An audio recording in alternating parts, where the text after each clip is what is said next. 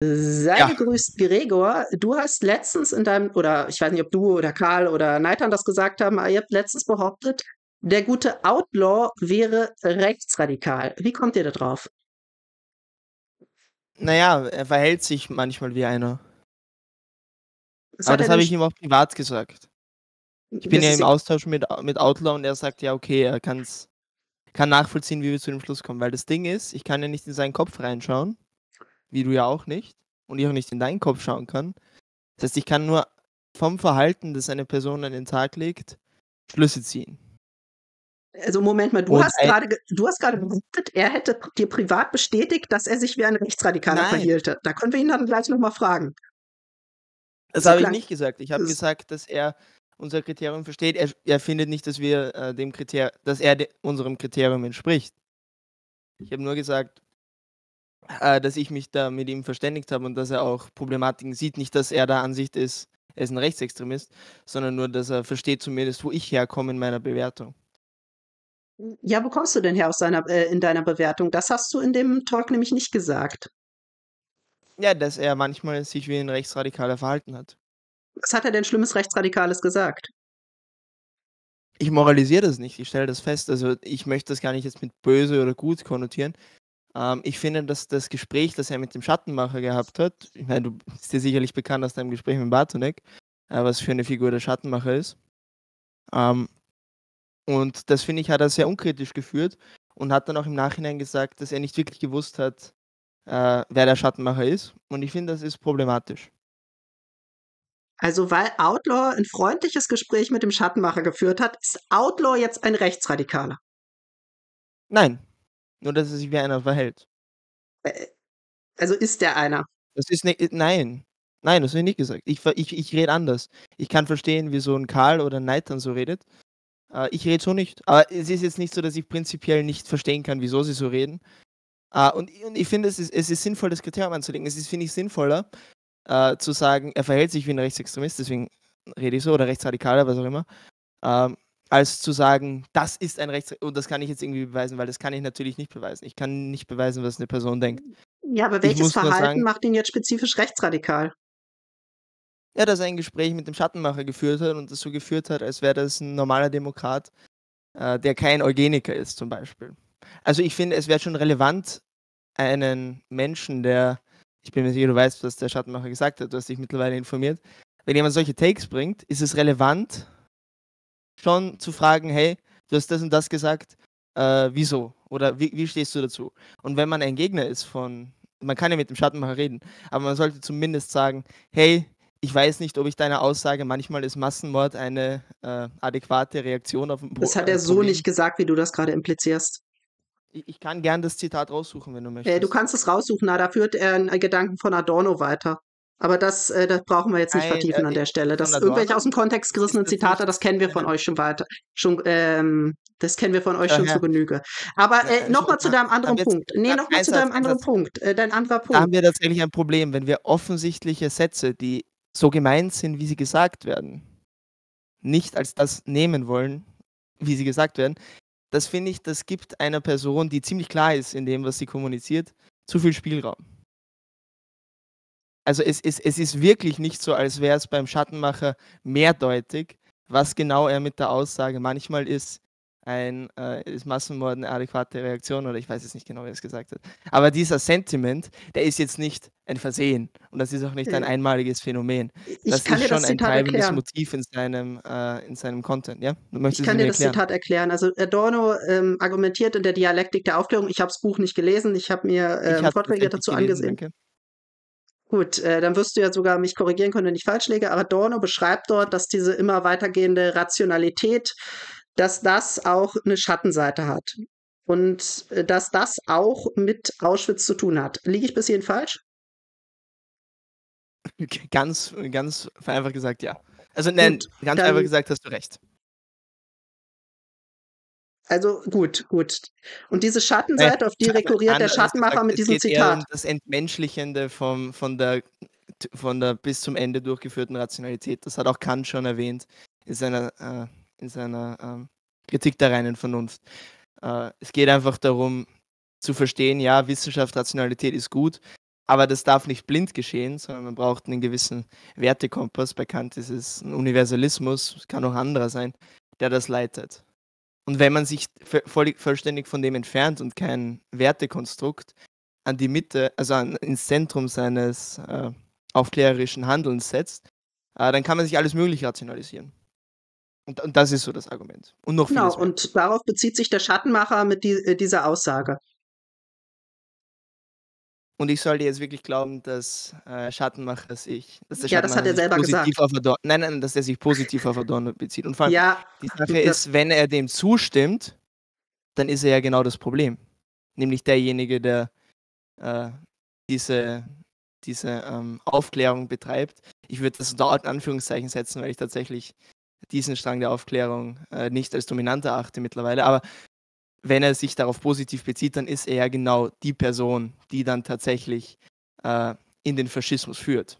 Weil genau dieses Denken, dass man an, an, nichts Halt machen kann und dass alles einer wertfreien, das ist ganz wichtig, äh, Vernunft unterzogen ist und dass es vollkommen egal ist, welches Ziel man damit verfolgen will, sondern einfach nur Vernunft und Aufklärung als Selbstzweck, ohne irgendwie einen, einen Wertekompass zu haben, das führt ja genau in den Faschismus. Und wenn er das affirmativ aufnimmt, dann kann ich sagen, ja, okay, danke für die Ehrlichkeit. Äh, du erfüllst jetzt genau die Kriterien, die Horkheimer und Adorno in ihrer Dialektik der Aufklärung als ausschlaggebend für den Faschismus machen. Also, wie du es drehen und wenden willst, äh, Schattenmacher ist ein Faschist.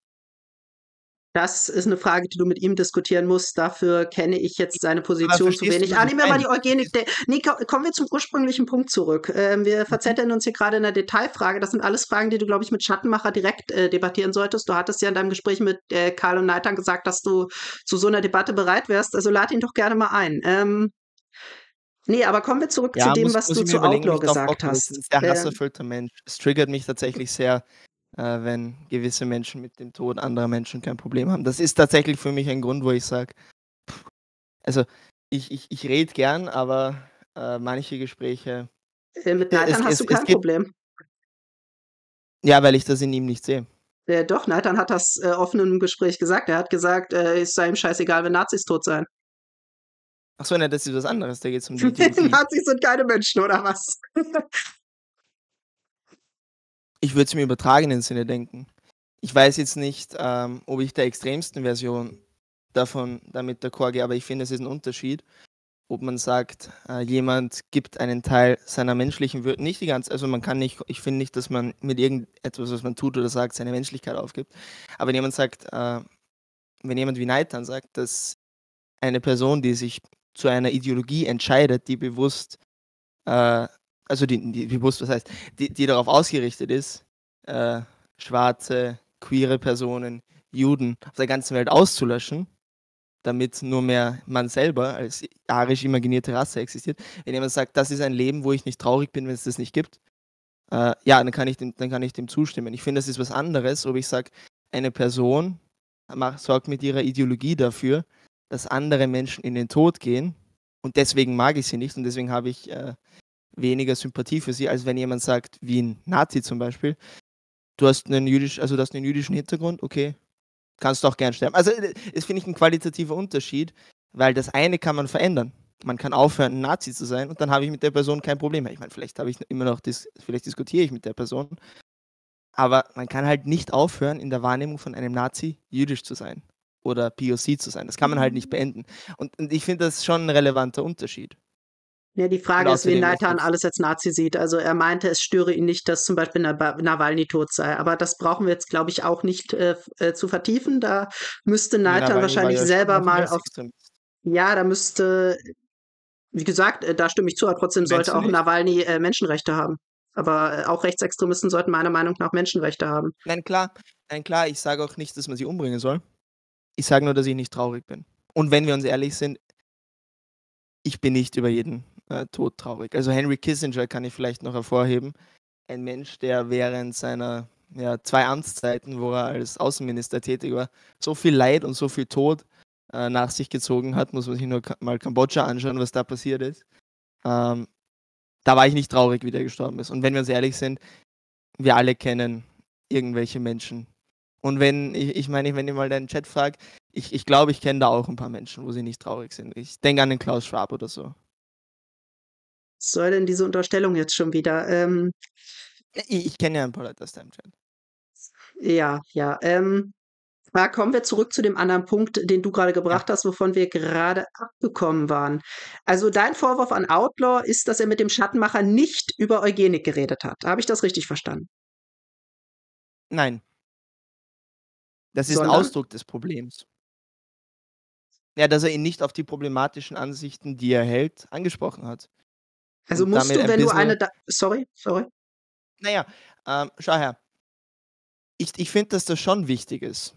Weil, wenn ich jetzt eine Person habe, die, nehmen wir mal an, dass der äh, Schattenmacher ein Faschist ist, ein Eugeniker, einer, der Menschen in unterschiedliche Rassen einteilt und sagt, die weiße Rasse ist allen anderen überlegen. Wenn ich diese hm, Person in, mein in einem Gespräch mit mir habe und ich rede mit der Person über das Wetter und dann finden wir heraus, ach so, ein Fußball schauen wir auch beide gern und er ist, ich weiß auf Österreich, er ist Rapid-Fan, ich bin Austria-Fan und wir haben da so ein bisschen ein joviales Hin und Her und dann ist das Gespräch zu Ende. Was ist dann das Ergebnis? Ich habe eine Person, die Menschen aufgrund ihrer Herkunft, aufgrund ihrer Hautfarbe als weniger wertvoll einschätzt, dargestellt als jemand, der so ist wie du und ich. Und ich finde, dass es aber schon relevant ist, wenn eine Person sich gegen die Menschenwürde von Menschen, die sie nicht mag, so fundamental stellt, das ist relevant zu erwähnen. Und dass er das nicht getan hat, ist, finde ich, etwas, wofür er sich Kritik einheimsen muss, äh, äh einheimsen, äh, wofür Kritik erfahren muss, ganz klar. Nee, eindeutig nicht. Also die haben nicht übers Wetter und so geredet oder äh, keine Ahnung, ob da jetzt einzelne Frage drin vorkam, das muss man ja immer dazu sagen. Ihr unterstellt einem ja sonst, dass man lügen würde, wenn man, äh, aber das Hauptthema des Gesprächs war tatsächlich der Wokismus am Beispiel Shoyoka. Und äh, darüber haben sie relativ lange geredet. Und äh, ja, ihr könnt euch ja alle das Gespräch anhören. Der Schattenmacher ja, hat da seine Gedanken zu mitgeteilt. Und Outlaw hat da, soweit ich mich ne, erinnere, eine liberalere Position als der Schattenmacher vertreten. Ähm, das ist aber nicht also, äh, ja, also, es ist, ja, aber da, das zeigt doch, dass sie da eben diskutiert haben. auch liberaler als Hitler. Also es kommt immer auf den, auf den Vergleich drauf an. Obwohl weiß ich äh, nicht viel, aber schon. Also der Marsch, also ich finde, es ist keine Leistung und ich glaube auch, dass der Outlaw das jetzt nicht als irgendwie, äh, dass er sich das jetzt nicht ähm, in den Lebenslauf schreiben wird, dass er weniger rechtsradikal war als der Schattenmacher in seinem Gespräch. Also es geht jetzt nicht darum, ob Outlaw hier eine gute Leistung hingelegt hat. Es geht um die Frage, ob Outlaw klar, sich wie ein Rechtsradikaler verhält. Das hast du gerade behauptet. Nochmal meine Frage, wie kommst sagen, du darauf? Nochmal, wenn er mit einem Rechtsradikalen spricht, der, ich muss nicht alles wiederholen, was der Schattenmacher glaubt, und nicht darauf zu sprechen kommt, und sie sich dann im Endeffekt einig sind, ja, Wokeness, Cringe, Shioka, Cringe und Punkt, dann ist das, finde ich, eine sehr, sehr, sehr vorteilhafte Darstellung von einem Menschen, äh, wo ich finde, der sollte gar nicht im politischen Diskurs stattfinden, wenn man die deutsche, ähm, das deutsche Grundgesetz ernst nimmt. Das kann ich sehr leicht argumentieren. Und ich finde, ja, dass er. Aber laut euch ist auch Outlaw ein Rechtsradikaler und laut euch dürfte man dann auch mit Outlaw nicht freundlich reden. Äh, nein, Schlussfolgere ich das gerade richtig? Nein, doch, nein, doch, das ist die logische Schlussfolgerung aus dem, was du hier gerade vorträgst. Weißt du, wieso ich den äh, Schattenmacher, warum ich der Ansicht bin, dass er nicht im politischen äh, Prozess teilhaben sollte? Nicht, weil er ein Rechtsradikaler ist, sondern weil er dem ersten Satz im deutschen Grundgesetz, die Menschen, also die Würde des Menschen ist unantastbar, weil er dem explizit widerspricht. Weil für manche, also bei manchen Menschen ist die Würde, ist die Würde antastbar. Das sind zum Beispiel Minderheiten oder schwarze Menschen, was auch immer er sich in seiner Rassenhierarchie imaginiert. Und das ist ein fundamentales Problem. Das findet ihr doch Meine auch. Einschätzung. Also Karl hat gesagt, Nazis sollten in Lö Löcher getrieben werden. Also für euch ist die Menschenwürde doch offensichtlich auch antastbar. Ja, wenn man das so interpretieren will. Erstens einmal interpretiere ich es nicht so. Uh, und zweitens ist es, finde ich, ein fundamentaler Unterschied, ob man sagt, es gibt Menschen, uh, die gewisse legale Rechte verspielen. Ich würde nicht sagen, dass man die Menschenwürde überhaupt irgendjemand, irgendwann vers äh, verspielen kann. Ich weiß auch nicht, ob Karl das jetzt so explizit sagt. Ähm, ich finde, das ist ein Unterschied, ob man sagt, jemand ist aufgrund seiner Ideen nicht berechtigt, an unserer Gemeinschaft teilzunehmen. Damit will ich nicht rechtfertigen, dass man sie umbringt. Nein, das sage ich nicht. Oder ob man jetzt sagt, nein, die Person ist jüdisch, die, ist, äh, die gehört einer große Anführungszeichen minderwertigen Rasse an. Und deswegen möchte ich mich gegen sie wenden. Das ist ein fundamentaler Unterschied. Ich möchte nochmal hervorheben, weil nicht, dass du nicht, dass das irgendwie jetzt so verstanden wird. Es geht nicht darum, was ich als rechtsradikal erachte oder nicht. Das ist, das ist für mich kein relevantes Kriterium, weil es ist natürlich subjektiv. Wenn es mir darum geht, zu argumentieren, wieso jemand nicht am politischen Prozess teilnimmt, dann versuche ich auf möglichst äh, eindeutig zu interpretierende äh, Tatsachen mich zu stützen. Unter anderem, die, also wenn jemand explizit der Verfassung widerspricht, sollte das, finde ich, überhaupt nicht kontroversiell sein. Also Rassenideologie und zu, zu sagen, eine Person ist mehr oder weniger wert aufgrund ihrer Hautfarbe, ähm, das ist nicht mit dem deutschen Grundgesetz vereinbar. Also das ist, ich verstehe nicht, siehst du das auch so wie ich oder wie, wie siehst du das? Ja, es kommt darauf an, was für konkrete Forderungen man da daraus ableitet. Und ja, was nein, ich da nein, beim nein, Schattenmacher gehört habe, das war definitiv. Jetzt lass mich doch mal ausreden. Ich wollte doch gerade was zum Schattenmacher sagen. Jetzt lass mich doch erstmal ausreden. in keiner Spielweise. Das ist Jetzt lass mich doch erstmal ausreden. Wenn du das Jetzt lass mich doch erstmal ausreden. Ich okay, habe doch, ich wollte gerade sagen, das, was ich beim Stream des Schattenmachers gesehen habe, wo ich darauf reagiert habe, das widerspricht definitiv dem Grundgesetz. Da sind wir einer Meinung. Ja, aber auch solche Leute, mit solchen Leuten sollte man diskutieren, mit solchen Leuten sollte man sich Nein. argumentativ auseinandersetzen. Mm Nein, ab dem Zeitpunkt, wo man äh, ein Verfassungsfeind ist, hat man nicht mehr einen Anspruch, also man hat schon einen Anspruch auf die Menschenwürde, aber man hat nicht mehr Anspruch auf alle Rechte, die eine Demokratie einem bietet. Äh, unter anderem äh, jetzt die Freiheit. Also jemand, der explizit ein Verfassungsfeind ist, darf nicht zu Wahlen äh, nominiert werden. Ich weiß nicht, wie in Deutschland das Gesetz ist. Ich weiß, dass in Österreich, wenn du äh, einen, äh, gegen, den, äh, gegen das Wiederbetätigungsverbot verstoßen hast, dann darfst du für eine gewisse Zeit nicht wählen. Du darfst dich auch für eine längere Zeit nicht in Parteien zur Wahl aufstellen lassen. In ganz schlimmen Fällen, glaube ich, kannst du lebenslang von als möglicher Amtsinhaber ausgeschlossen werden. Also ähm, das ist, das ist äh, schon ein eindeutiger Konsens jetzt in der Rechtsprechung, dass es gewisse Dinge gibt, wenn man gegen die Verfassung eines Landes vers äh, verstößt, dann kann man rechtmäßigerweise, und ich finde auch nicht nur rechtmäßig, sondern auch moralisch vollkommen vertretbar, von diesem politischen Prozess ausgeschlossen werden. Und das würde ich beim Schattenmacher argumentieren. Ja, die Frage ist, wann bist du gegen die Verfassung? Wenn du die Schuldenbremse ablehnst, bist du dann gegen die Verfassung? Nein. Die steht nein. in der Verfassung. Ich weiß, aber ich würde das anders interpretieren. Also es, es, gibt ja so, es gibt ja gewisse Grundsätze. Ähm, das sind, das sind, das wären unter anderem die gewesen, die man in die europäische Verfassung schreibt, also der Menschenrechtskatalog. Ähm, ich finde, dass es gewisse Punkte in der Verfassung gibt, wo man sagt, ja, okay, du bist ein Verfassungsfeind und Anführungszeichen. Ich, mein, ich weiß nicht, ob du ein Verfassungsfeind bist, wenn du sagst, du solltest die ähm, Verfassung ändern. Also da würde ich jetzt auch noch eine, äh, eine Unterscheidung machen. Aber ich finde jemand, ähm, der sagt, naja, wir sollten die Verfassung dahingehend ändern, dass die Würde des Menschen nicht mehr unantastbar ist. Ich finde, es ist legitim, diese Person als Verfassungsfeind zu bezeichnen. Jemand, der sagt, Schuldenbremse ist scheiße. Also ich finde, da ist der, wenn ich das Verfassungsfeindlichkeit nenne, dann ist das inflationär gebraucht. Das würde ich nicht so sagen. Ja, wieso ist das eine jetzt verfassungsfeindlich und das andere nicht? Also weil das eine in den ersten 20 Artikeln steht, ist das jetzt deine formale Begründung? Oder weil deine Nein, äh, ich, persönliche Moral das anders gewichtet? Nein, ich würde eher strukturell argumentieren, weil die ganze Verfassung baut auf dieser Werte, auf diesem Wertekatalog auf. Das ist das, wenn die Verfassung das Fundament ist, dann sind dieser, ist dieser Grundwertekatalog das Fundament des Fundaments. Ähm, und das sind tatsächlich die Basics, auf die wir uns als aufgeklärte Menschen auf jeden Fall einigen müssen. Dass wir nicht unterscheiden dürfen in der Wertigkeit von Menschen. So. Äh, ja, das meinte ich ja mit den ersten, äh, ich habe erste 20 sind, glaube ich, die ersten 19 Artikel, wo die Grundrechte drinstehen. Nein, aber es geht mir nicht um die Zahl, es geht mir eher um die Struktur, die eine gewisse, also die ein gewisser Paragraph im, im Grundgesetz einnimmt.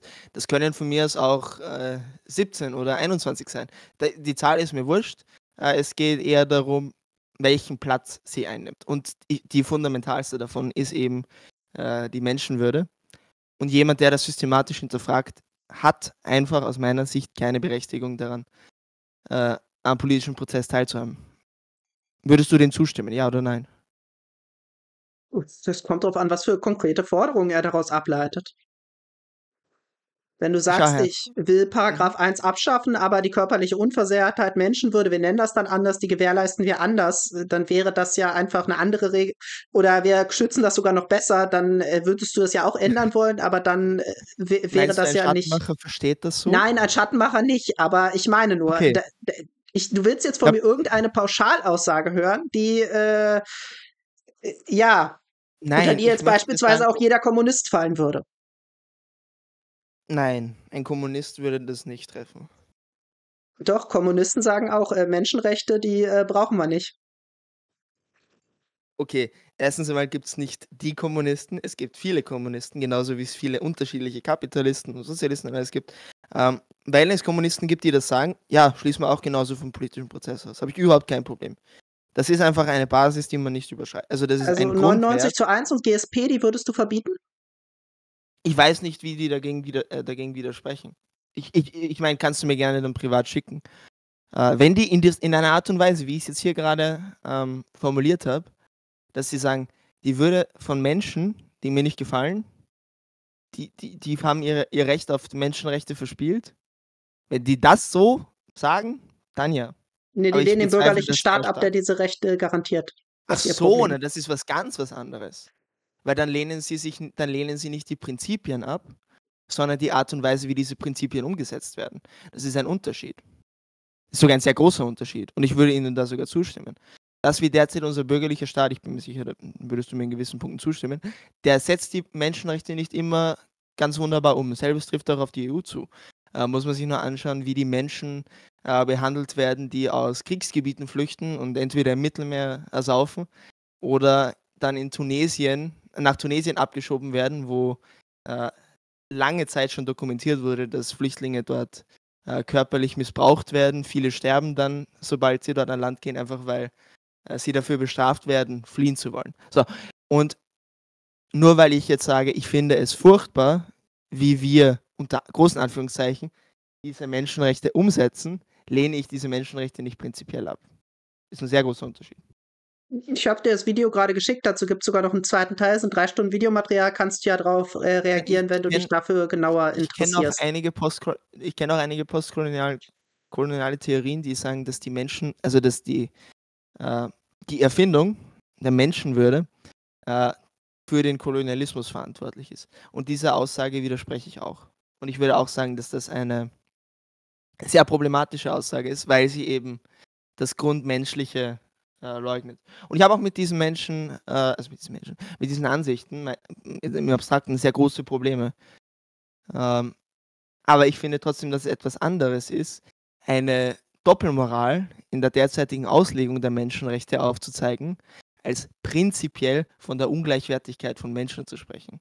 Das ist ein großer Unterschied. Und dass du das hier, und, und schau wir haben jetzt hier ein Problem, dass du die ganze Zeit versuchst, eine Äquivalenz aufzuzeigen, die gar nicht da ist und damit aus meiner nee, Sicht unrechtmäßig, unrechtmäßig die Ansichten des Schattenmachers, die offensichtlich genozidal und Rassenkunde, äh, also genozidal sind und Rassenkunde irgendwie verbreiten sollen, kleinredest. Zumindest implizit. Und das ist das prinzipielle Problem, was auch Nils in seinem Video angesprochen hat.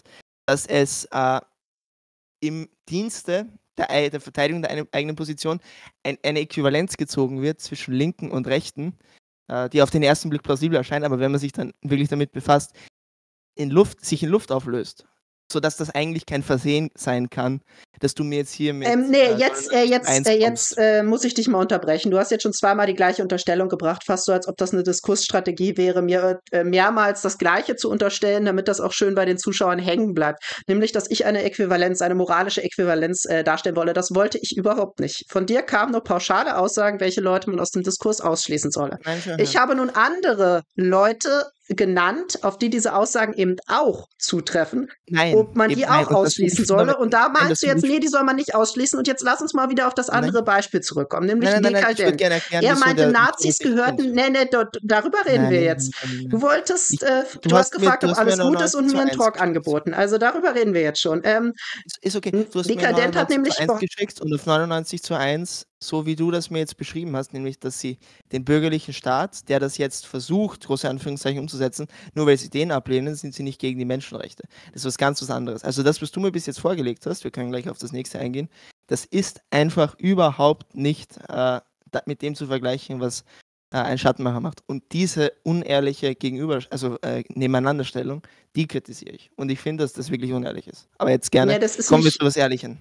Ja, das ist nicht unehrlich. Das war, du hast ein allgemeines Prinzip postuliert und ich prüfe jetzt dieses allgemeine Prinzip an bestimmten Beispielen, ob du es da auch anwenden würdest oder wenn nicht, mit welcher Begründung es du es nicht. Ja, gut, ist ja eine Begründung. Aber Dekadent meinte, Zitat, Nazis gehörten in Löcher getrieben. Also das war wirklich seine Wortwahl, in Löcher getrieben. Würdest du sagen, das verstößt nicht gegen die Menschenwürde? Es kommt auf die Interpretation drauf an wenn ich sage, ich schubs Nazis in Löcher, die 20 Zentimeter tief sind. Nein, das, also ich, ich, ich persifliere das jetzt hier natürlich. Ich kann dazu leider nichts sagen, ich kenne den Kontext nicht. Ich bin mir sicher, das kann in einer Art und Weise gesagt werden, dass es die Menschenwürde verletzt, kann aber auch in einer Art und Weise gesagt werden, dass es es nicht verletzt. Dafür muss ich den Kontext kennen. Wenn du mir das schicken kannst, kann ich es vielleicht, äh, kann ich es vielleicht bewerten. Also beim Schattenmacher, da reißt ein Zitat aus dem Kontext und weiß ganz genau, wie er es gemeint Nein, hat. Und bei Dekadent ziemlich eindeutige Zitate, die, äh, die hat er vielleicht nicht so gemeint. Also ja, man, man sieht hier eine klare Inäquivalenz zwischen den beiden Seiten. Der einen Seite wird das Schlimmstmögliche unterstellt, der anderen Seite, da sagt man, erkenne ich Nein, den Kontext nicht, was auch völlig verständlich ist. Das ist deine Seite. Natürlich unterstellst du ihr solche Sachen nicht. Daher, Aber dann hör auf, Leute aus dem Diskurs ausschließen zu wollen, irgendwelche Prinzipien zu postulieren, die du dann eben bei deinen Freunden nicht anwendest. Nein, schau, ich würde dir das gerne erklären. Äh, beim Karl kenne ich den Kontext nicht von dieser Aussage. Beim äh, Schattenmacher, jetzt hätte ich fast den Namen vergessen, da kenne ich es tatsächlich schon. Ich habe nämlich das Transkript gelesen. Also nicht die ganzen eineinhalb Stunden, ich habe die zwei Minuten davor und danach gelesen. Ich auch. Und da ist ausdrücklich von Adorno die Rede. Wie ich vorhin gesagt hatte. Ähm, Natürlich kann von Adorno die Rede sein, aber ich kann mich jetzt zum Beispiel auch auf Julius Evola äh, beziehen und sage irgendwie, ah, die, äh, die Schutthallen, äh, die Schutthaufen oder wie hat das, egal, die Schutthaufen der Moderne. Und ich sage, deswegen müssen wir eine reaktionäre politische Bewegung unterstützen. Und, und dann sagt jemand, hey, der Gregors Politik sagt, wir sollen wieder einen Faschismus machen. Und dann komme ich daher und sage, nein, du verstehst mich nur falsch. Ich beziehe mich hier auf Julius Evola. Naja, Come on. Das, das ist jetzt der Punkt. Nur weil er sich hinter einem anderen Denker versteckt und den meiner Ansicht nach fehlinterpretiert, wenn er das, was Adorno sagt, ähm, da wirklich jetzt ähm, affirmativ nimmt für seine Rassenkunde, das heißt ja nicht, dass er nicht trotzdem das so sieht. Weil wenn ich mich affirmativ auf das, was in einem Text geschrieben steht, beziehe, dann ist es legitim zu sagen, hey, der unterstützt das, was da steht. Ja, sicherlich. Ich würde das von Adorno auch kritisieren, wenn ich das äh, richtig verstanden habe. Wie gesagt, ich habe. Du hast es falsch verstanden. Adorno sagt das eben nicht. Adorno kritisiert eben genau das. Die Dialektik der Aufklärung ist konzipiert als Werk, das genau diese reine Aufklärung, diese reine Vernunft, die aus Sicht von Adorno äh, zur Zerstückelung des Menschen führt und ihn äh, ihm durch die, durch die wissenschaftliche Methode äh, nur auf das Beobachtbare reduziert und irgendwie einen, jetzt klingt es spirituell, aber irgendwie eine Essenz des Menschlichen abspricht. Das ist genau das Problem. Das kritisiert Adorno.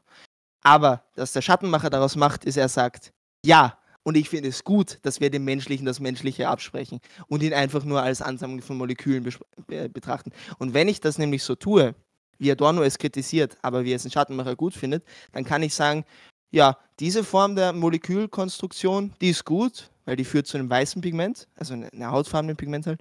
Äh, und das andere führt halt zu einem dunkelhäutigen äh, Person und das ist irgendwie weniger wert. Wenn ich es, wenn ich das, die, die Essenz des Menschseins, so möchte ich es jetzt mal ganz dumm nennen, verleugne, wie es die Aufklärung in der Wahrnehmung von Horkheimer und Adorno gemacht hat, dann kann ich das rechtfertigen. Und genau darauf bezieht sich äh, äh der mit dieser Schattmacher. Und das ist genau mein Problem. Ich glaube, du redest hier über etwas, hast aber prinzipiell verstanden, worum es geht.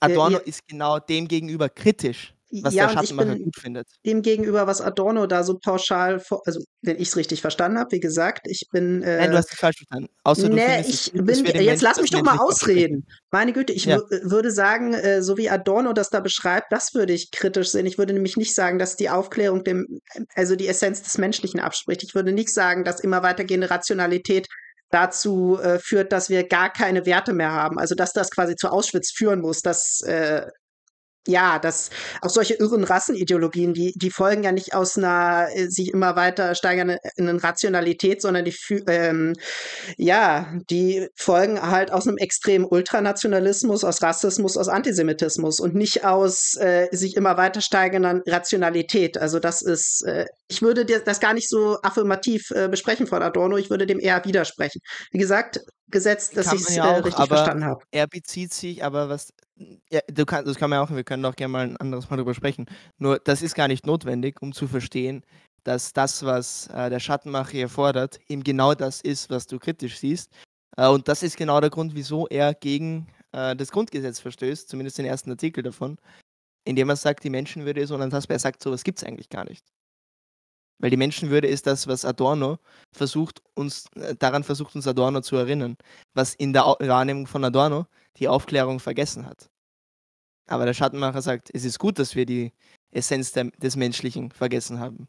Weil wenn wir nicht, wenn wir nicht mehr uns irgendwie auf die Menschenwürde von allen Menschen äh, beziehen müssen, dann können wir auch sagen, manche Menschen sind weniger wert. Und in der Wahrnehmung von Schattenmacher sind das eben queere Personen, sind das äh, rassifizierte Minderheiten. Also mit der ganzen Juden Unterstellung brauchst du jetzt, äh, brauchst du jetzt nicht, also das ist Wollen ja, wir uns das durchlesen, wer alles sagt, dass. Ja, wie gesagt, wenn du eine Debatte mit dem Schattenmacher oder mit irgendjemand aus dem rechten Lager führen willst, dann mach das gerne. Aber ich werde Nein, meinen äh, mein Stream hier nicht als Agitationsplattform. Ja, doch. Dann also dann unterstell doch nicht Leuten, die nicht anwesend sind und mit denen du darüber auch keine Debatte geführt hast, nicht jede Menge Dinge. Also wie aber gesagt, wir waren ja eigentlich beim Outlaw und nicht beim Schattenmacher. Die Menschenwürde. Du sagst ja auch, dass Dekadent die Menschenwürde für Nazis abschaffen möchte. Wenn du dagegen bist, dass man Menschen. also wenn Dekadent Nazis meint, äh, sagt, dann meint er damit jeden, der ein bisschen konservativer ist. Nein, nein, nein, nein, schau her. Wenn du sagst, es ist unfair, ähm, Dinge zu charakterisieren von Menschen, die nicht hier im Gespräch sind, dann kannst du das Gespräch auch nicht so führen. Ich finde, es ist vollkommen legitim, anhand von den Sachen, die der Schattenmacher gesagt hat, die er auch immer wieder sagt, also das sind keine Ausrutscher, dass er der Ansicht ist, dass manche Menschen aufgrund ihrer Herkunft, aufgrund ihrer Hautfarbe weniger wert sind. Ganz easy. Da muss ich mich gar nicht einmal, das ist gar nicht was kontrovers, ich verstehe nicht, wieso du dich da so aufhängst. Ah, das ja, ist, wie gesagt, dem würde ich äh, auch nicht widersprechen. Ah, die ganzen anderen Unterstellungen gegen Queere, gegen, was hast du gesagt, gegen Juden, gegen alle möglichen. Also das müsstest du alles im Einzelnen belegen. Und wie gesagt, äh, wenn du das machen willst, mach das gerne in deinem Stream. Aber da haben wir jetzt äh, nicht noch die Zeit für. Ich glaube, das Beispiel mit den Rassen, das wir auch ja in meinem Stream besprochen hatten, das hat, glaube ich, soll, schon gereicht. Das sollte reichen, da. oder? Ja, das, das reicht ja eigentlich, um zu sagen, ja, der sollte nicht. Ja, deswegen, da brauchst du nicht noch jede Menge andere Punkte bringen, um äh, hier quasi für deine Ideologie zu diffamieren und dann noch andere Opfergruppen reinzubringen. Also das ist ja wirklich. Naja, aber wenn die. Ja, ich, ich, mir gefällt dieses Vorgehen, Gespräche zu führen, einfach nicht. Ähm, Fakten zu bringen gefällt dir nicht? Nicht es, also Fakten zu bringen. das Problem ist die Intention. Das Problem ist das Vorgehen. Das Problem ist nicht, dass das, wie gesagt, dass ob das eine, Fakten sind, weiß ich ja nicht. Eine Person, die offen queerfeindlich ist, die offen rassistisch ist, die offen sagt, dass, wie gesagt, Massenmord manchmal okay ist, das dann auch tatsächlich zu sagen und zu behaupten, das ist etwas, was wir im politischen Prozess nicht dulden sollten. Das ist das mit Massenmord, ich habe es doch gerade erklärt. Also da, okay, da kommen wir nicht zusammen. Ich würde sagen, dass das Nein. einfach nur ein Bezug auf Adorno ist, dass nicht jede Adorno-Referenz gleich äh, Faschismus ist. Das ist doch völlig absurd, so meinst eine Argumentation. Du das, gerade? das meinst du gar nicht ernst, oder? Äh, natürlich. Ich, meinst du, dass ich sage, also, also du meinst, dass wenn ich, wenn ich, wenn ich irgendwie ein Video sehe und der zitiert äh, Horkheimer oder so, und ich sage, ah, der, der zitiert Horkheimer, der, der Nazi. Meinst du das ernst? Nein, wenn du solche Gedankengänge von Adorno und Horkheimer, die eben sowas zur Folge haben, wenn du die positiv besprichst, also da müsstest du, wie gesagt, Adorno auch als Nazi diffamieren, was du auf keinen Fall machen wirst. Nein, weil Adorno bringt das auf, um zu sagen, es ist falsch.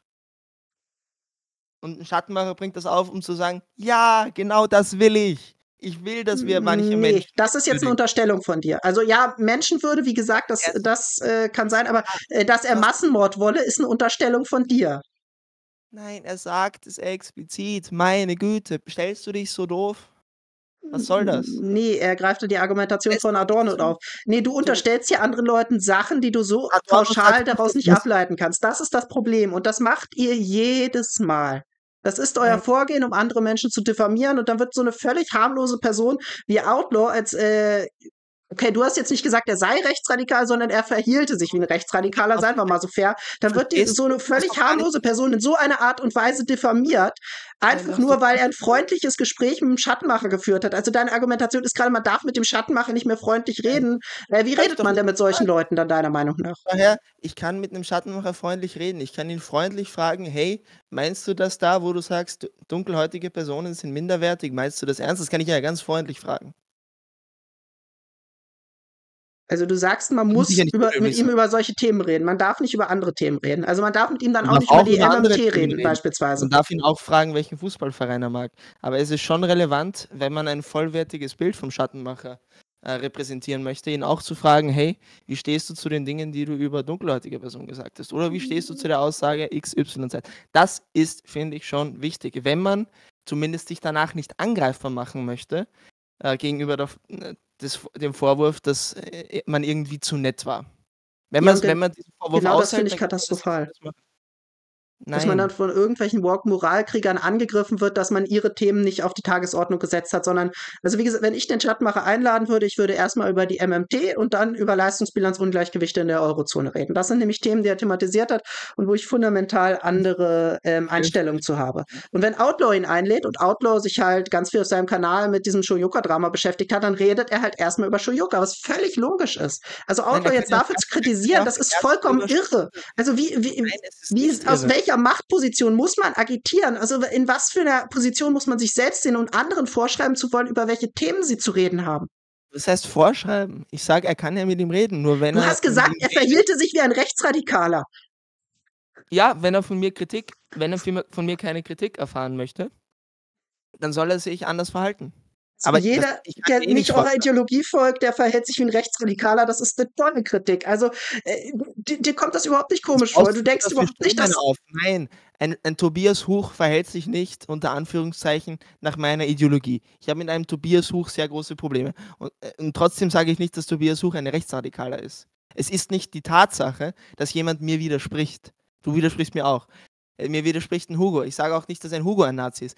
Mir geht es darum, dass wenn eine gewisse Person, also eine, eine, gewisse Person, ich kann sagen, wenn der Outlaw sich so verhält in dem Gespräch mit dem Schattenmacher, dass aus meiner Ansicht nicht klar kommuniziert wird, wofür der Schattenmacher steht, äh, wie groß der Schaden dann tatsächlich ist, mal dahingestellt. Aber allein schon die Tatsache, dass er mit einem Schattenmacher spricht und mir nach dem Gespräch aber als jemand, der, äh, weil Outlaw sieht sich ja mittlerweile eher als Zentrist, deswegen ich hoffe, er sieht es mittlerweile kritisch, äh, dass ich da am Ende von einem Gespräch mit dem Schattenmacher nicht weiß, dass das ein Rassenideologe ist, dass der der Ansicht ist, dass gewisse Menschen aufgrund ihrer Herkunft und Hautfarbe minderwertig sind. Wenn ich das nach einem Gespräch, äh, was über zwei, eineinhalb oder zwei Stunden oder so dauert, nicht check, ich finde, dann hat derjenige, der das Gespräch führt, also der Interviewer, was in dem Sinne, ich glaube, es ist schwer zu sagen, dass Outlaw ein Interviewer ist, äh, dann hat die Person aus meiner Sicht einen Fehler gemacht. So, und das werde ich ja wohl noch sagen dürfen.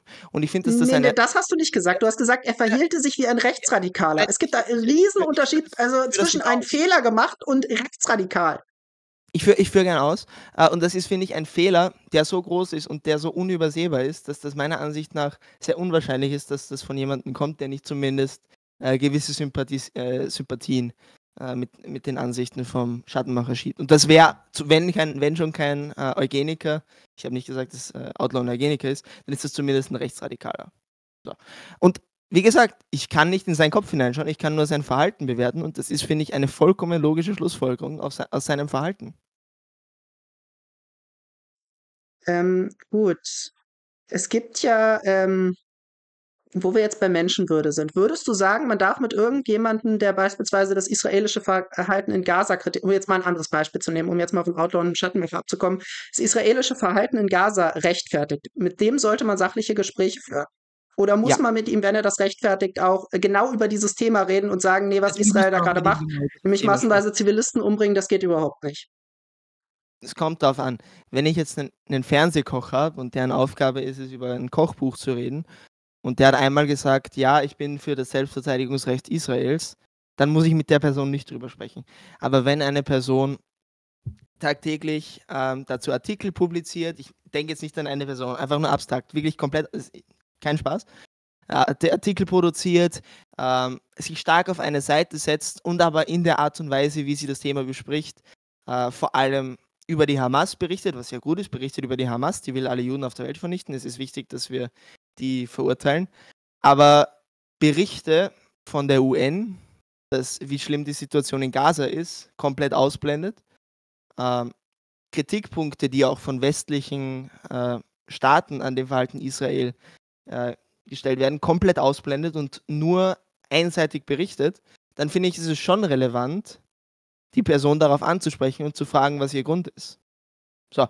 Ähm, ich finde aber, dass es ein fundamentaler Unterschied ist, wenn ich mit jemandem spreche, der aus meiner Ansicht nicht, aus meiner Sicht nicht das komplette Bild von dem Israel-Palästina-Konflikt abbildet und mit so einer Person spreche, oder ich, ob ich mit einer Person spreche, die der prinzipiellen Menschenwürde widerspricht, Menschen in Rassen und so. Also ja, man sollte Personen, die sich öffentlich wiederholt kritisch verhalten, aus meiner Sicht, die sollte man dazu fragen.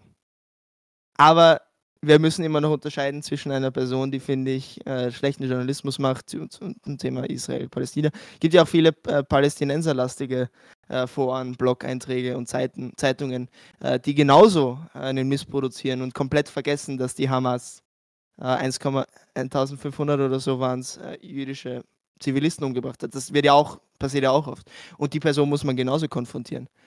Aber es ist immer noch ein qualitativer Unterschied, finde ich. Okay, das war eine ehrliche Antwort. Gut, das habe ich nämlich gefragt, immer ehrlich, weil ich dieses, ähm, weil ich dieses Vorgehen, aber ich glaube, da werden wir auch nicht mehr zusammenkommen, dass man andere Leute immer auf bestimmte Themen, die du jetzt als besonders kritisch ansiehst, dass man die ansprechen muss und ansonsten sich irgendwie ein Rechtsradikalismusvorwurf einhandelt, äh, das äh, sehe ich absolut kritisch, äh, denn das zerstört einfach den gesellschaftlichen Diskurs. Aber wie gesagt, da werden wir wahrscheinlich nicht mehr zusammenkommen nicht jeder, der kritische Positionen nicht anspricht, ist dann ist ein Rechtsradikal, Rechtsradikaler. Wenn es jetzt Aber jemanden Outlaw. gibt, na, nicht jeder, manche. Äh, oder manche verhalten sich wie Rechtsradikale. Das ist wiederum das, was ich, wie ich es formulieren würde. Ähm, aber dasselbe gilt auch jetzt für zum Beispiel einen Typen, der einen äh, Stalin-Versteher interviewt, äh, der explizit sagt, ja, Holodomor war schon based, dass der Ukrainer äh, ausgehungert wurden. Und ja, dass er die ganz, dass er Homosexuelle eingesperrt hat und äh, umgebracht hat, das war cool. Und wenn ich mit so einer Person, einer fiktiven Person, ein Gespräch führe und sie nicht frage, hey, wieso findest du die Genozide von Stalin cool? Wenn ich das nicht frage, dann finde ich, mache ich mich zu Recht äh, dem Kritikpunkt schuldig, hey, du hast da hier gerade jemanden, der Massenmord äh, rechtfertigt, hast du nicht äh, entsprechend konfrontiert. Dann ist es aber kein Rechtsradikaler, sondern es kann auch sein, dass es ein Linksradikaler ist. Ähm, also es geht nicht darum, dass alle, die ich nicht mag, Rechtsradikale sind. Es ist nur, dass die Art und Weise, wie ich finde, dass Outlaw sich hier verhalten hat, ähm, ein gewisses Gedankengut nahelegt. Und dann auch noch zu der Zeit war er ja ein, ein expliziter Befürworter von Höcke, den ich ja auch als äh, Faschisten bezeichnen würde. Wieso das denn? Wieso Höcke ein Faschist ist? Ja, sag's mir. Ich habe bisher nur den Bericht des Verfassungsschutzes Thüringen gelesen und äh, der hat mich nicht überzeugt. Aber du kannst ja da gerne. Ähm, er hat ja ein sehr enges Verhältnis zu vielen Aktivistinnen der neuen Rechten. Also Kontaktschuld. Hm, nein, nicht Kontaktschuld. Es geht nicht nur darum, dass die einmal auf derselben Veranstaltung waren, sondern die arbeiten ja explizit zusammen. Götz Kubitschek hat ja auch, äh, wenn ich mich recht entsinne, äh, das Buch von Höcke äh, veröffentlicht. Wie heißt das? Nie, nie, nie, nie, nie zweimal in denselben Teich oder so? Ich habe hab den Namen vergessen. Aber ähm, das ist ja nicht nur, dass die zwei äh, sich mal die Hände gegeben haben, sondern die arbeiten ja explizit zusammen. Und ich finde, dass man Götz Kubitschek schon als einen Faschisten bezeichnen kann. Also wenn du mit einem Faschisten zusammenarbeitest, dann bist du selbst ein Faschist. Es ist ein also Indikator. Es gibt noch viele andere Punkte, wieso. Also nach der Logik wäre äh, Stalin nach dem Hitler-Stalin-Pakt zu einem Faschisten geworden, beispielsweise. Das ist äh, ziemlich absurde Nein, Argumentation. Oder die USA, wenn sie mal wieder irgendein faschistisches Regime hochrüsten, dann werden die, sind, das macht die USA ja noch nicht zu einem faschistischen Staat. Kommt drauf an, wen du fragst, kommt drauf an, an welchem Tag der Woche du mich fragst. Ich würde tatsächlich sagen, dass einige Vorgehensweisen äh, von republikanischen Regierungen äh, faschistoide Züge äh, aufweisen. Ja, wir können uns zum Beispiel Reagan anschauen, sein Umgang mit der AIDS-Krise, äh, wo es als ähm, Strafe Gottes, wo er, er hat es explizit in äh, aufgenommenen äh, Gesprächen im Weißen Haus, hat er AIDS, was vor allem homosexuelle Menschen umgebracht hat, vor allem Schwule, ähm, umgebracht. Also es sind halt viele dran gestorben. Hat er als Strafe Gottes für deren äh, Sünde bezeichnet. Und jemand, der äh, ein derartig, ähm, wie soll ich sagen, reaktionäres und äh, menschenfeindliches Bild von einer Krankheit hat und sagt, das ist eine Strafe Gottes, wenn Homosexuelle sterben und das geschehen lässt. Er war sich ja darüber bewusst, nur er hat halt äh, keine Forschung dazu in Auftrag gegeben. Das wäre ein Beispiel, wo ich sage, ja, das ist ein, das ist ein faschistoides äh, Merkmal von seiner Regierung. Wir können uns auch von mir aus Trump anschauen und äh, Trump seine Präsidentschaft und die sprachlichen Bilder, die er verwendet hat. Ähm, dann January 6th war ja auch relativ eindeutig. Also ähm, ich sehe da einen Punkt, dass viele ähm, von den republikanischen, vor allem, aber auch teilweise äh, demokratischen Regierungen, die die Vereinigten Staaten gehabt haben, äh, fas faschistische Anzeichen vorweisen. Und ich sage, ja, du hast vollkommen recht. Nee, das habe ich nicht gesagt. Ich habe gesagt, diese Logik ist vollkommen absurd. Das war mein Argument. Weil es auch auf amerikanische, ähm, weil es auch auf Amerika manchmal zutrifft. Und ich habe gesagt, nee. ja, du hast vollkommen recht. Und ich kann dir auch begründen, welche Zeiten ich als faschistisch, also gar keine, na, faschistoid äh, feststellen würde. Also ich würde sagen, also ich verwende beim Faschismus ja gerne die marxistische Definition, weil die relativ klar eindeutig ist und man da nicht äh, in die Ansichten einzelner Personen jetzt irgendwas reininterpretieren muss, sondern sehr auf die strukturellen Bedingungen geht. Faschismus ist verkürzt äh, die offen terroristische Diktatur der reaktionärsten Elemente des Finanzkapitals. Und das, das eine, offen terroristische Diktatur hatten wir in den USA zu keiner Zeit. Also das äh, kannst du auf die USA wirklich beim besten Willen nicht anwenden. So oligarchisch und undemokratisch das amerikanische System sein mag und auch noch, es war zu anderen Zeiten bestimmt noch viel undemokratischer, als es heute war, aber äh, faschistisch war es wirklich zu keinem Zeitpunkt. Ähm, ich beziehe mich hier tatsächlich nicht auf die marxistische, weil ich finde, dass die marxistische Definition von Faschismus, allein wenn wir uns die Historie anschauen, ähm, zu wünschen übrig lässt, wo nicht klar war, von wem jetzt also die äh, tatsächlichen Sozialisten oder Kommunisten in der Weimarer Republik waren sich nicht sicher, ob die SPD oder die NSDAP äh, den Faschismus bringt. Ich weiß nicht, ob nee, ich das war Sozialfaschismus-These, das war nochmal was völlig anderes. Also das Nein, ist, was ich hier gerade nehme, ist die De Definition die, von Dimitrov. Die marxistische. Uh, okay, die von Dimitrov, okay, ich bevorzuge die von Roger Griffin, äh, vom palägenetischen Ultranationalismus. Äh, das ist, finde ich, äh, ich, ich, wollen wir es ausformulieren? Ich finde, das ist eine bessere äh, ein besseres Verständnis. Ich halte auch sehr viel von den Punkten von Umberto Eco. Das ist, finde ich, sehr praktisch. Mhm. Der Essay von Umberto Eco hat äh, ein paar Probleme. Also er geht von dem Urfaschismus aus, ohne zu beweisen, dass es den gibt. Also irgendwie, es fehlt so das Fundament. Aber ich finde, wenn wir davon ausgehen, dass es gewisse Merkmale dann von Faschismus gibt, die überall gewissermaßen präsent sind, dann finde ich, ist das ein guter Ansatz. Also ähm, ich meine, schön, dass, der, dass es auch eine marxistische Definition gibt. Ich kann hier tatsächlich äh, weniger mit der anfangen, einfach weil ich die, äh, ich habe noch wenig Leute mitbekommen, die sich auf, speziell auf die jetzt beziehen. Fabian Lehr, den hatte ich hier zu Gast, da habe ich ein einstündiges Gespräch drüber geführt. Spannend, also ich, ich bleibe bei der von Roger Griffin, das ist diejenige, die ich am meisten. Also ich studiere Politikwissenschaft, nur um das nochmal, also alle, die das auf ihrer Bingo-Karte haben, können jetzt einen Shot nehmen. Ähm, ich habe tatsächlich sehr viel mit diesen Definitionen zu tun und ich finde die von Roger Griffin ja, sehr aussagekräftig. Aber wie dem auch sei, äh, wie sind wir da jetzt darauf gekommen, auf den Faschismus, auf die Definition. Du sollst jetzt begründen, warum Höcke ein Faschist ist und palingenetischen so. Ultranationalismus, das ist nämlich mein Problem mit meiner, äh, mit dieser Definition. Da kannst du jedem, der so einen mystischen Bezug auf die Nation ähm, sieht, dem kannst du dann gleich Faschismus unterstellen. Also dann könntest du auch diesen ganzen nationalromantischen Strömungen des 19. Jahrhunderts gleich Faschismus unterstellen. Und das kannst du einem Höcke, der sich mit diesen Strömungen halt viel beschäftigt hat, was er ja auch ganz offen sagt, dem kannst du das dann auch unterstellen.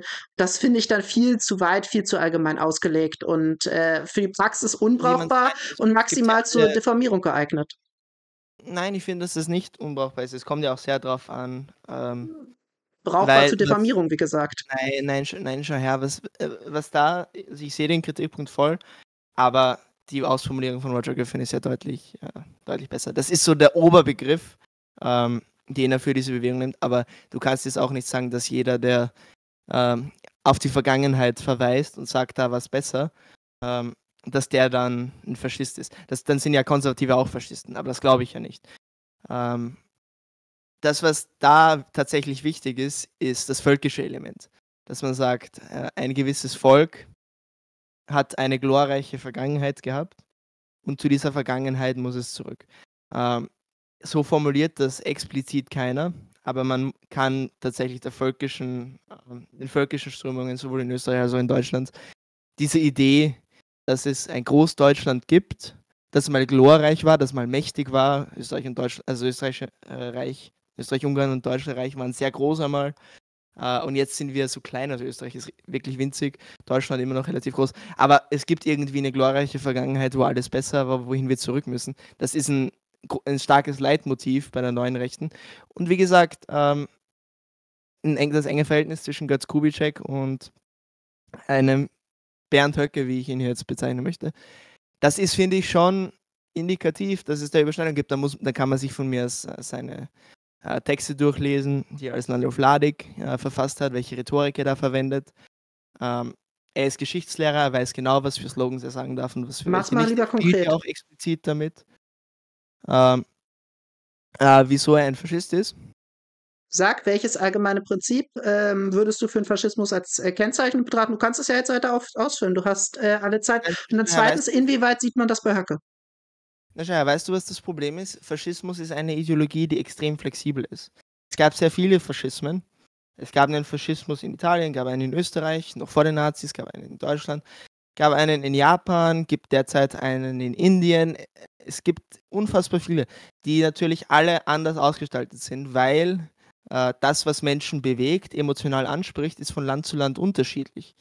Äh, das heißt, man kann es leider, wenn man wirklich die alle umfassen will, nur auf sehr grobe Kategorien runterbrechen.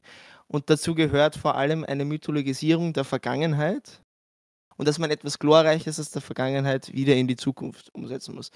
Und dazu gehören viele Dinge, dass man einerseits einen Feind im Innen und einen im Außen hat. Der Feind im Außen, das sind für Höcke derzeit äh, vor allem die Amerikaner, die einen Krieg äh, führen wollen, äh, zwischen, in, zwischen der Ukraine und Russland. Das sind die Kriegstreiber, die Deutschland schwächen wollen, die Deutschland dazu bringen, Sanktionen gegen Russland zu machen, was Deutschland kaputt macht. Das heißt, der Feind im Ausland ist derzeit Joe Biden vor allem und die, Feind, die Feinde im Inneren, die, ähm, die Altparteien. Und gegen diese Parteien kann man sich auch eigentlich gar nicht zur, zur Wehr setzen, weil die haben sich ja alle gegen uns verschworen. Das ist das sogenannte Altparteienkartell. Und um uns gegen das aufzulehnen, äh, reichen äh, demokratische Mittel nicht mehr nur aus, äh, deswegen ist in, in, der ganzen Rede ist dann auch sehr viel Militanz drinnen. So, und dafür nicht, jetzt bitte mal ein Beispiel. Für den, für den letzten Punkt, der Rest, der ist äh, ganz normale, du könntest jetzt böse sagen, populistische, ich würde sagen, vernünftige Analyse. Ähm, du, also jetzt mal ein konkretes Beispiel. Wo siehst du diese Militanz beziehungsweise die explizit antidemokratische Agitation? Dafür habe ich nämlich bisher sehr wenige Belege gesehen. Ich beschäftige mich nicht viel mit, ich kenne allgemeine Zitate aus der AfD zum Beispiel. Äh, wir werden sie jagen, zum Beispiel. Ja, wir werden sie als Opposition jagen. Also wenn du das ja, mit Bedfeld okay, interpretierst. Okay, ich ein Beispiel dafür. Man kann sagen, wir werden uns äh, und wir werden alles tun, um dieser furchtbaren Politik entgegenzuwirken. Das ist, das erwarte ich mir von einer Opposition. Ich erwarte mir nicht, dass eine Oppositionspartei tatsächlich sagt, wir werden den politischen Gegner jagen. Das, also, wenn, wenn, wenn ich dir ein Beispiel, wenn du sagst, mir, nenn mir ein Beispiel von Militanz, ich nenne dir ein Beispiel von Militanz und du sagst, ja, aber ich weiß nicht, ob. Also, ich finde, dass de, die Forderung, äh, danach den politischen Gegner zu jagen, wie man Vieh auf der Jagd äh, jagt, was man danach erlegt, ich finde, das ist eine Militanz, äh, die relativ eindeutig ist zu erkennen. Ähm, nee, also in Löcher treiben finde ich dann schon eindeutiger, aber du meintest, das wäre ja aus dem Kontext gerissen. Also da, da merkt man schon wieder diese Inäquivalenz bei dir. Das fällt mir nur die ganze Zeit nicht. auf. Ich weiß nicht, du hast es mir übrigens noch nicht geschickt, wo er das gesagt hat. So, ja, da kann ich dir zig Videos raussuchen, äh, die das besprochen haben. Ich suche mir jetzt, äh, oder im Chat sucht mal die originale, ähm, originalen Stream, wenn der noch online sein sollte, raus. Dann kann ich den Gregor gleich zuschicken, ansonsten muss ich den nachher selber raussuchen. Ähm, so, ähm, wir werden sie jagen, das hat Alexander Gauland nach dem Wahlsieg 2017 gesagt, als die AfD als Oppositionsführer in den Deutschen Bundestag eingezogen ist. Und damit meinte er natürlich durch Untersuchungsausschüsse, durch ganz normale parlamentarische Arbeit jagen. Das ist ein, jemand, der, also jemand, der total alt ist, der jahrzehntelang im politischen Geschäft ist, der für die CDU vorher da saß. Also dem jetzt zu unterstellen, dass er damit äh, also militärische Jagd meinen würde, das ist ja einigermaßen absurd. Zum Aber Glück ist es ja, sehr, ist ja unmöglich, dass jemand Nazi ist und auch mal ein Amt in der CDU gehabt hat. Hm, ja, das kam häufiger vor. Kiesinger war ja auch ein äh, Nazi und war äh, dann Bundeskanzler für die CDU. Also das war ja außerdem, außerdem, schreibt Björn Höcke in seinem Buch, dass er den äh, bevorstehenden Volkstod durch den Bevölkerungsaustausch abwenden möchte. Das macht einen zu einem Faschisten? Ja. Warum? Weil der große, also die Umvolkung, der große Austausch, Bevölkerungsaustausch, wie du es nennen willst, äh, ist ganz klar eine neonazistische Verschwörungserzählung. Was macht sie neonazistisch? Ich habe, ich, äh, was macht sie neonazistisch? Die Leute, die sie vorbringen. Also die Leute, die sie vorbringen, sind Faschisten, weil das eine faschistische Theorie sind und weil sie sie vorbringen, sind sie Faschisten und diese Theorie ist faschistisch, weil sie von Faschisten äh, vorgebracht wird. Das ist eine zirkuläre Erklärung. Das erklärt gar nichts. Nein, es ist keine zirkuläre Erklärung. Es baut ganz klar auf den Annahmen der originalen Nazis auf, äh, dass es zwischen den unterschiedlichen Rassen, Anführungszeichen, ich habe leider keine Kamera an, aber ich setze das in Anführungszeichen, äh, die es auf der Welt vermeintlich gibt, einen Wettkampf um Ressourcen gibt. Und in diesem Wettkampf äh, um Ressourcen, was der sogenannte Rassenkrieg ist, da geht es darum, dass sich die unterschiedlichen Rassen eben bekämpfen. Das ist natürlich imaginiert, aber das wollen die uns weismachen. So. Äh, und eine Strategie, die vor allem den Juden, äh, Jetzt kommt darauf an, von wem man spricht. Faschisten meinen damit manchmal, also Faschisten reden nicht immer von Juden. Ja, Höcke meint nicht äh, Juden. Höcke meint. Nein, nein aber er redet einfach, aber das, die Struktur ist immer dasselbe, weil das ist ja auch der Grund, das ist ja auch das Argument, warum jede Verschwörungstheorie äh, im Antisemitismus ändert. Das, was eine Verschwörungstheorie auszeichnet, ist, dass es Strippenzieher gibt, dahin, also die hinter den, äh, hinterm Vorhang so halt agieren. Und die sieht man halt nicht. Und die kann man aber auch nicht sehen, weil die so unfassbar schlau sind. Und je nachdem, mit wem du sprichst, ist das halt der Kulturmarxistus, äh, Marxistus, Marxismus, ist es das äh, internationale Finanzkapital? Ist es die jüdische Hochfinanz? Oder sind es halt einfach die, äh, die, äh, die Weisen des Zion? So, und je nachdem, wen du da jetzt dahinter siehst, aber die Struktur ist immer Also dasselbe. Moment mal, wer Finanzmärkte kritisiert, meint eigentlich die Juden. Ist das nein, dein Punkt? Nein, das habe ich doch nicht du gesagt. Du hast gerade gesagt, wer die Hochfinanz ähm, sagt, der meine eigentlich, äh, der meine eigentlich die Juden. Das hast du gerade gesagt. Soll ich dir sagen, wie ich das gemeint habe? Ich kann es dir gerne erklären. Also, Gut, dann erklär's. Ich habe gesagt, wenn jemand sagt, ich, okay, mein Argument ist, wenn jemand sagt, es findet ein Völker Bevölkerungsaustausch statt, der von der Hochfinanz äh, gelenkt wird, um die weiße Rasse zu unterdrücken. Ja. Hat Höcke weiße Rasse gesagt? Nein, aber das ist, das ist ja die Idee. Nee, du, du vermischst gerade Höckers Argumentation mit äh, der von ähm, äh, der von anderen Leuten. Wirklich bezieh dich auf Höckes Idee und warum ist die originär faschistisch? Ich möchte wirklich nur, ich, ich habe dir gerade gar nicht, außer bei dem letzten Punkt mit, äh, wer Finanzmärkte äh, sagt, meint eigentlich, eigentlich Jugend. Davor habe ich Nein, dir gar nicht widersprochen. Ich, ich, lehne diese Theorie von einem, äh, lass mich doch mal, lass mich doch mal kurz ausführen. Ich lehne diese Theorie von einem Bevölkerungsaustausch, der da von irgendwem geplant wurde, um das deutsche Volk auszulöschen, wie das ja wirklich im AfD-Vorfeld behauptet wird. Das sehe ich tatsächlich auch nicht so. Also da, da würde ich ja auch inhaltlich widersprechen. Und die Frage ist jetzt, warum sind Leute, die, die Frage ist nicht, ob man der Idee jetzt zustimmt, die lehnen wir, glaube ich, beide ab, sondern die Frage ist, warum soll das jetzt originär faschistisch sein? Ich habe das, ich, ich, kann mich gern wiederholen. Ähm, die Idee baut auf der Vorstellung des Rassenkriegs auf. So. Der kommt das ist an, jetzt eine Unterstellung von dir. Nein, es ist ganz klar nachzuverfolgen, wo die äh, Verschwörungserzählung des, der Umvolkung herkommt. Also, wenn erklär. das eine Unterstellung ist, dass, dass, dann brauchen wir eigentlich das Gespräch nicht mehr führen. Sage ja, dann erklär, erklär. genau, wo das herkommt? Ja, wir haben, wir ja, haben Zeit. Ich ja, hatte ja, ja, ist okay. Die, die, die Idee eines Rassenkriegs kommt von den Nazis. So. Jetzt kannst du aber Rassenkrieg nicht mehr sagen, weil das negativ konnotiert ist.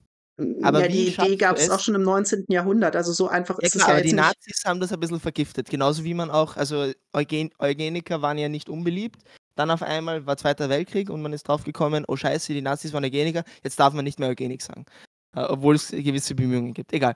Ähm, das heißt, wie kommuniziert man dieselbe Idee, dass man selber als vorgestellte Rasse bedroht wird, ohne den Rassenkrieg zu nennen. Da muss man Möglichkeiten finden. Äh, da bietet es sich natürlich an, dass es äh, in der Zeit seit den Nazis Studienrichtungen gibt, die sich kritisch mit gesellschaftlich normativen Vorstellungen darüber, äh, was es heißt, äh, gut zu sein, schlecht zu sein und dass diese rassifiziert sind und dass weiße Vorstellungen und so, also dass es so eine Critical Whiteness äh, Studienrichtung gibt. Das, das funktioniert dann natürlich perfekt, um zu sagen, hey, die sind gegen die Whiteness. Und so hat sich das dann tatsächlich ent äh, entwickelt, dass es mehrere Briefe gibt. Also einerseits wird dieses, äh, hey, die sind gegen Whiteness, also die äh, Kulturmarxisten, die in den Elfenbeintürmen äh, stehen, die wollen Weiße auslöschen. Das ist eine Form dieser Erzählung.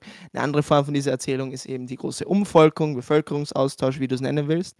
Äh, was auch ganz klar auf diese, nicht Neurechte, aber äh, auf Nazis in den 70ern, 80ern, aus dem britischen Umfeld zurückzuverfolgen ist äh, die eben genau dieselbe Struktur aufweist. Es gibt eine dominante, große Anführungszeichen, Rasse, das ist in Deutschland sind das die, die Deutschen oder keine Ahnung, wie, wie die es nennen wollen, die Arier oder was auch immer. Und dann gibt es äh, nebulöse Kräfte, sowohl im Innen als auch im Außen, die das unterwandern wollen.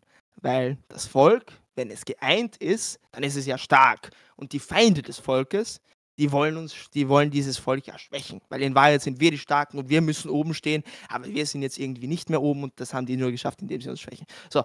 Und eine Strategie in diesem, in diesem imaginierten, äh, in dieser imaginierten Verschwörung gegen die weiße Rasse ist der sogenannte Bevölkerungsaustausch. Dass gewissen Personen, je nachdem, wen man da jetzt dahinter sieht, unterstellt wird, bewusst ähm, nicht weiße Personen äh, in weiße äh, Länder in weiß imaginierte Länder einzuführen, um die, äh, um die weiße Rasse auszulöschen. So. Und das ist der große Bevölkerungsaustausch. Und das ist ganz klar zurückzuziehen auf, ne, auf die originalen Nazis. Ah, das schreibt Höcke ja nicht. Also das schreibt Höcke ja sagt, explizit Er möchte nicht. den bevorstehenden Volkstod durch den Bevölkerungsaustausch abwenden. Ja, äh, er spricht von Volk, nicht von Rasse. Das sind schon mal zwei unterschiedliche. Also wenn du jetzt jemanden wie äh, Matt Walsh nimmst aus den USA, der ja vom Erhalt der angloamerikanischen Rasse spricht, wie, wie ich, wenn ich mich recht entsinne, also dann würde ich sagen, okay, da hat man schon diese Argumentationsfigur, aber Höcke, der spricht von Volk, nicht von Rasse, so wie du das gerade erzählt hast. Das wird hier zum Glück auch gar nicht äh, austausch, also austauschbar verwendet. Ähm, wird auch nicht austauschbar verwendet. Nazis, würdest du sagen, dass die Nazis oft von Rasse gesprochen haben? Ja. Sie haben auch vom gesunden Volkskörper gesprochen. Das ja, den sie dann rassistisch definiert haben. Aber wo hast du bei Höcke so ja, eine rassistische. du hast gerade eine Unterstellung gegenüber Höcke, dass er das so meinen würde. Du hast keine äh, explizit rassistische Herleitung bei Höcke, es sei denn, du kannst sie mir jetzt nennen. Dann äh, nehme ich alles zurück. Ich meine, wenn du das belegen kannst, kein Problem, aber du scheinst es nicht belegen zu können. Ähm, Moment, Moment, Moment. Äh, ich ich würde gern noch ein Zitat vorlesen, das vielleicht auch das dem entspricht, was du jetzt gesagt hast, dass ich eine offensichtlich rassistische Weltanschauung von Höcke zumindest nahelege. Wo hast du das äh gefunden? Sag das nochmal vorher. Äh, was das erste? Nee, das, das Zitat, was jetzt kommt. Also das Zitat, das jetzt kommt. Ähm, äh, warte mal, da ist leider kein Link. Ich kann, ich kann das Zitat gleich im Internet suchen. Ich, ich, ich suche es gleich raus. Ich lese im Moment, nein, ich soll es Ja, dann schick mir ruhig mal den Link. Da kann ich den in der Beschreibung verlinken, damit äh, sich auch jeder vergewissern kann, dass das nicht aus dem Kontext gerissen wurde. So, Moment. Nie zweimal in denselben Fluss, so heißt das Buch. Und zwar schreibt er in seinem Buch, also nie zweimal in denselben Fluss, auf Seite 257 folgend, bla bla bla bla bla. Auch wenn wir leider ein paar Volksteile verlieren werden, die zu schwach oder nicht willens sind, sich der fortschreitenden Afrikanisierung, Orientalisierung und Islamisierung zu widersetzen. Aber abgesehen von diesem möglichen Aderlass haben wir Deutschen in der Geschichte nach dramatischen Niedergängen eine außergewöhnliche Renovationskraft gezeigt. Ein paar Korrekturen und Reformchen werden nicht ausreichen, aber die deutsche Unbedingtheit wird der Garant dafür sein, dass wir die Sache gründlich und grundsätzlich anpacken werden. Wenn einmal die Wendezeit gekommen ist, dann machen wir Deutschen keine halben Sachen. Dann, sind, dann werden die Schutthalden der Moderne beseitigt, denn die größten Probleme von heute sind hier anzulasten. So, ähm, ähm, ja, genau, das hat er in seinem Duell mit Vogt nochmal genauer erklärt. Damit meint er äh, solche Leute, die durch äh, deutsche Städte ziehen und solche Sätze sagen wie Bomber Harris, do it again, Sauerkraut, Kartoffelbrei, Bomber Harris, äh, Deutschland, äh, feuerfrei, Deutschland verrecke, also solche Leute meint er. Also das sind eher Leute, die, ähm, so wenn ich mir diese antideutschen Antifas angucke, die sind eher größtenteils äh, deutsch. Also die sind jetzt nicht so äh, ist, glaube ich, der Migrantenanteil eher unterdurchschnittlich. Die Leute, die Höcke mit dem Zitat meint, was du da gerade aber du kannst doch nicht ernst aber selbst wenn er das meint, und ich finde es okay, dass man die kritisiert, erstens einmal, damit entmenschlicht er sie ja äh, komplett, weil er sagt, das sind Volksteile, die wir verlieren können. Was meine ich mit verlieren? Das ist mal die erste Frage, die ich dir stellen würde. Und die zweite Frage, ähm, soll ich es nochmal vorlesen oder ist dir klar geworden, wieso ich der Ansicht bin, dass das ein Faschist ist? Allein schon wie er schreibt, die Schutthalden der Moderne. Also er verwendet eine ein bisschen geschwollenere Sprache. Das ist jetzt dein Kritikpunkt. Das Geschwollen, Schutthalden der Moderne, das ist explizit äh, das, was Julius Evola geschrieben hat. Und weil er die Wortwahl verwendet, die ein faschistischer Theoretiker aus Italien mal verwendet hat, ist er jetzt auch ein Faschist. Ja, das, Nein, das ist ein bisschen absurde Argumentation. Wenn ich jetzt ein paar Nein. Worte von Marx verwende, bin ich doch auch kein Marxist. Also da, Nein, das, ist doch, das sind aber alles Dinge, die sich zu einem. Schau her. Du konstruierst. Das ist das Problem. Nein, wenn wir, ein Mosaik, wenn wir jetzt ein Bild haben, das besteht aus, sagen wir mal, 100 Mosaiksteinen. Und dann legt einer ein Mosaikteilchen dorthin, was passt. Und du sagst, hey, du hast gerade das ganze Bild, das ganze Bild fertig gemacht. Du hast gerade den ganzen, also das ist der Beweis, nein. Aber wenn sich immer mehr Musikstein, äh, Mosaiksteinchen ansammeln und nach und nach bildet sich das Bild heraus, dann kann man ab einem gewissen Punkt sagen, ja, okay, jetzt erkenne ich da schon genug, dass ich sagen kann, ja, okay, der baut da jetzt gerade einen Faschismus. Und wir können gerne noch weiter durch, äh, durchlesen aus diesem Buch. Äh, es ist unfassbar und ich verstehe nicht, wieso wir da jetzt gerade reden, das ist über, das, das finde ich ist überhaupt nicht mehr Leute. Weil wir dich verstehen wollen. Also weil wir verstehen wollen, wie du darauf kommst, andere Leute als Faschisten zu bezeichnen. Und Höcke, okay. das ist ja jetzt, wenn man den Mainstream-Medien glauben darf, so ein eindeutiger Fall. Und wenn man eurem Lager glauben darf, erst recht. Da verteidigt man ja den angeblich sofort, wenn man äh, rational über seine Aussagen redet und nicht sofort überall das Schlimmste reininterpretiert.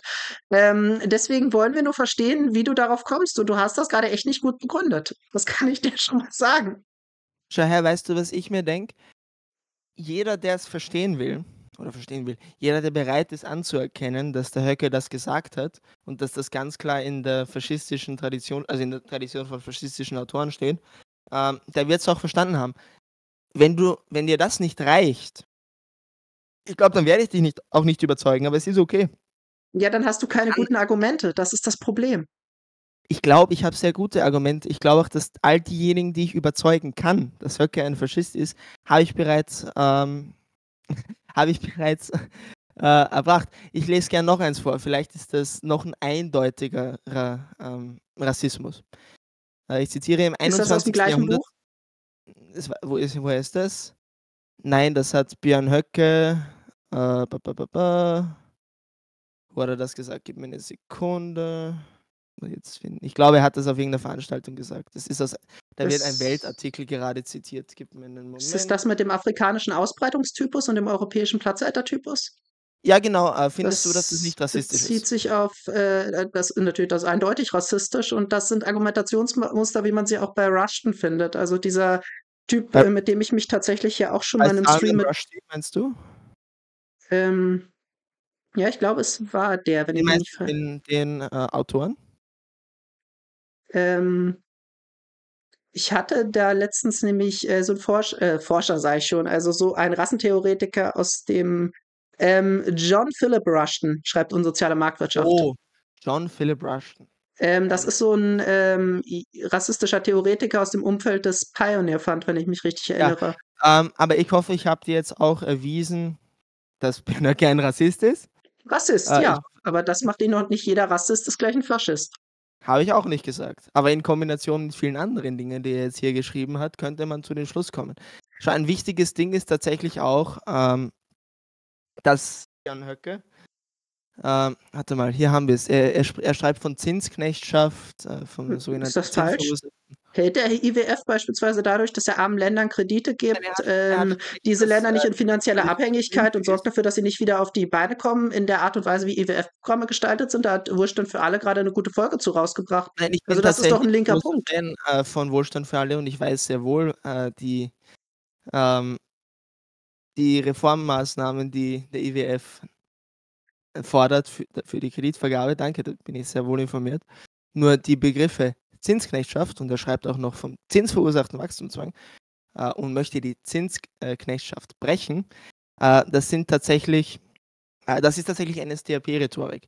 Wenn es einem darum geht, den Kapitalismus zu kritisieren, und den sich und den Zinskritik ist also, NSDAP-Rhetorik. Sorry, sorry, sorry, dass ich dich jetzt unterbreche. Das ist, das ist wirklich vollkommen absurd. Also Zinskritik ist NSDAP-Rhetorik. Wie, wie kommst du darauf? Wie ich darauf komme, gib mir eine Sekunde. Das ist tatsächlich aus dem 25-Punkte-Programm der NSDAP. Äh, ja, okay, die Nazis haben Zinsen kritisiert und äh, Überraschung, nach, ihrer, äh, nach der Machtergreifung haben sie das Zinssystem auch nicht abgeschafft. Also, also ja, ja, fast so, als hätten Nazis gelogen. Aber trotzdem ja. bedient er sich hier Nazi von Nazi. Also, ich glaube, du willst den Schuss nicht hören. Ich, also ich glaube, du hast schlechte Argumente. Das ist unser ganzes Problem. Und du diffamierst in harmlose Leute, wie beispielsweise Outlaw, als rechtsradikal. Oder du wirfst Leuten wie mir vor, ich würde Rechtsradikale verteidigen wollen. Wie gesagt, wo du immer noch den Beweis schuldig geblieben hast, dass das Rechtsradikale sind. Das ist unser Problem hier. Wenn du nicht bereit bist, die kernfaschistische Rhetorik darin zu erkennen, wenn jemand sagt, wir werden gewisse Volksteile, die sich gegen das Volks, den, den gesunden Volkskörper äh, wenden, verlieren müssen äh, und die Schutthalden der Moderne beseitigen. So, das ist eine Rhetorik, die will ich nicht gerne von einem Thüringer Ministerpräsidenten hören. Da würde ich dir zustimmen. BSW-Politiker sollte das auf keinen Fall sagen.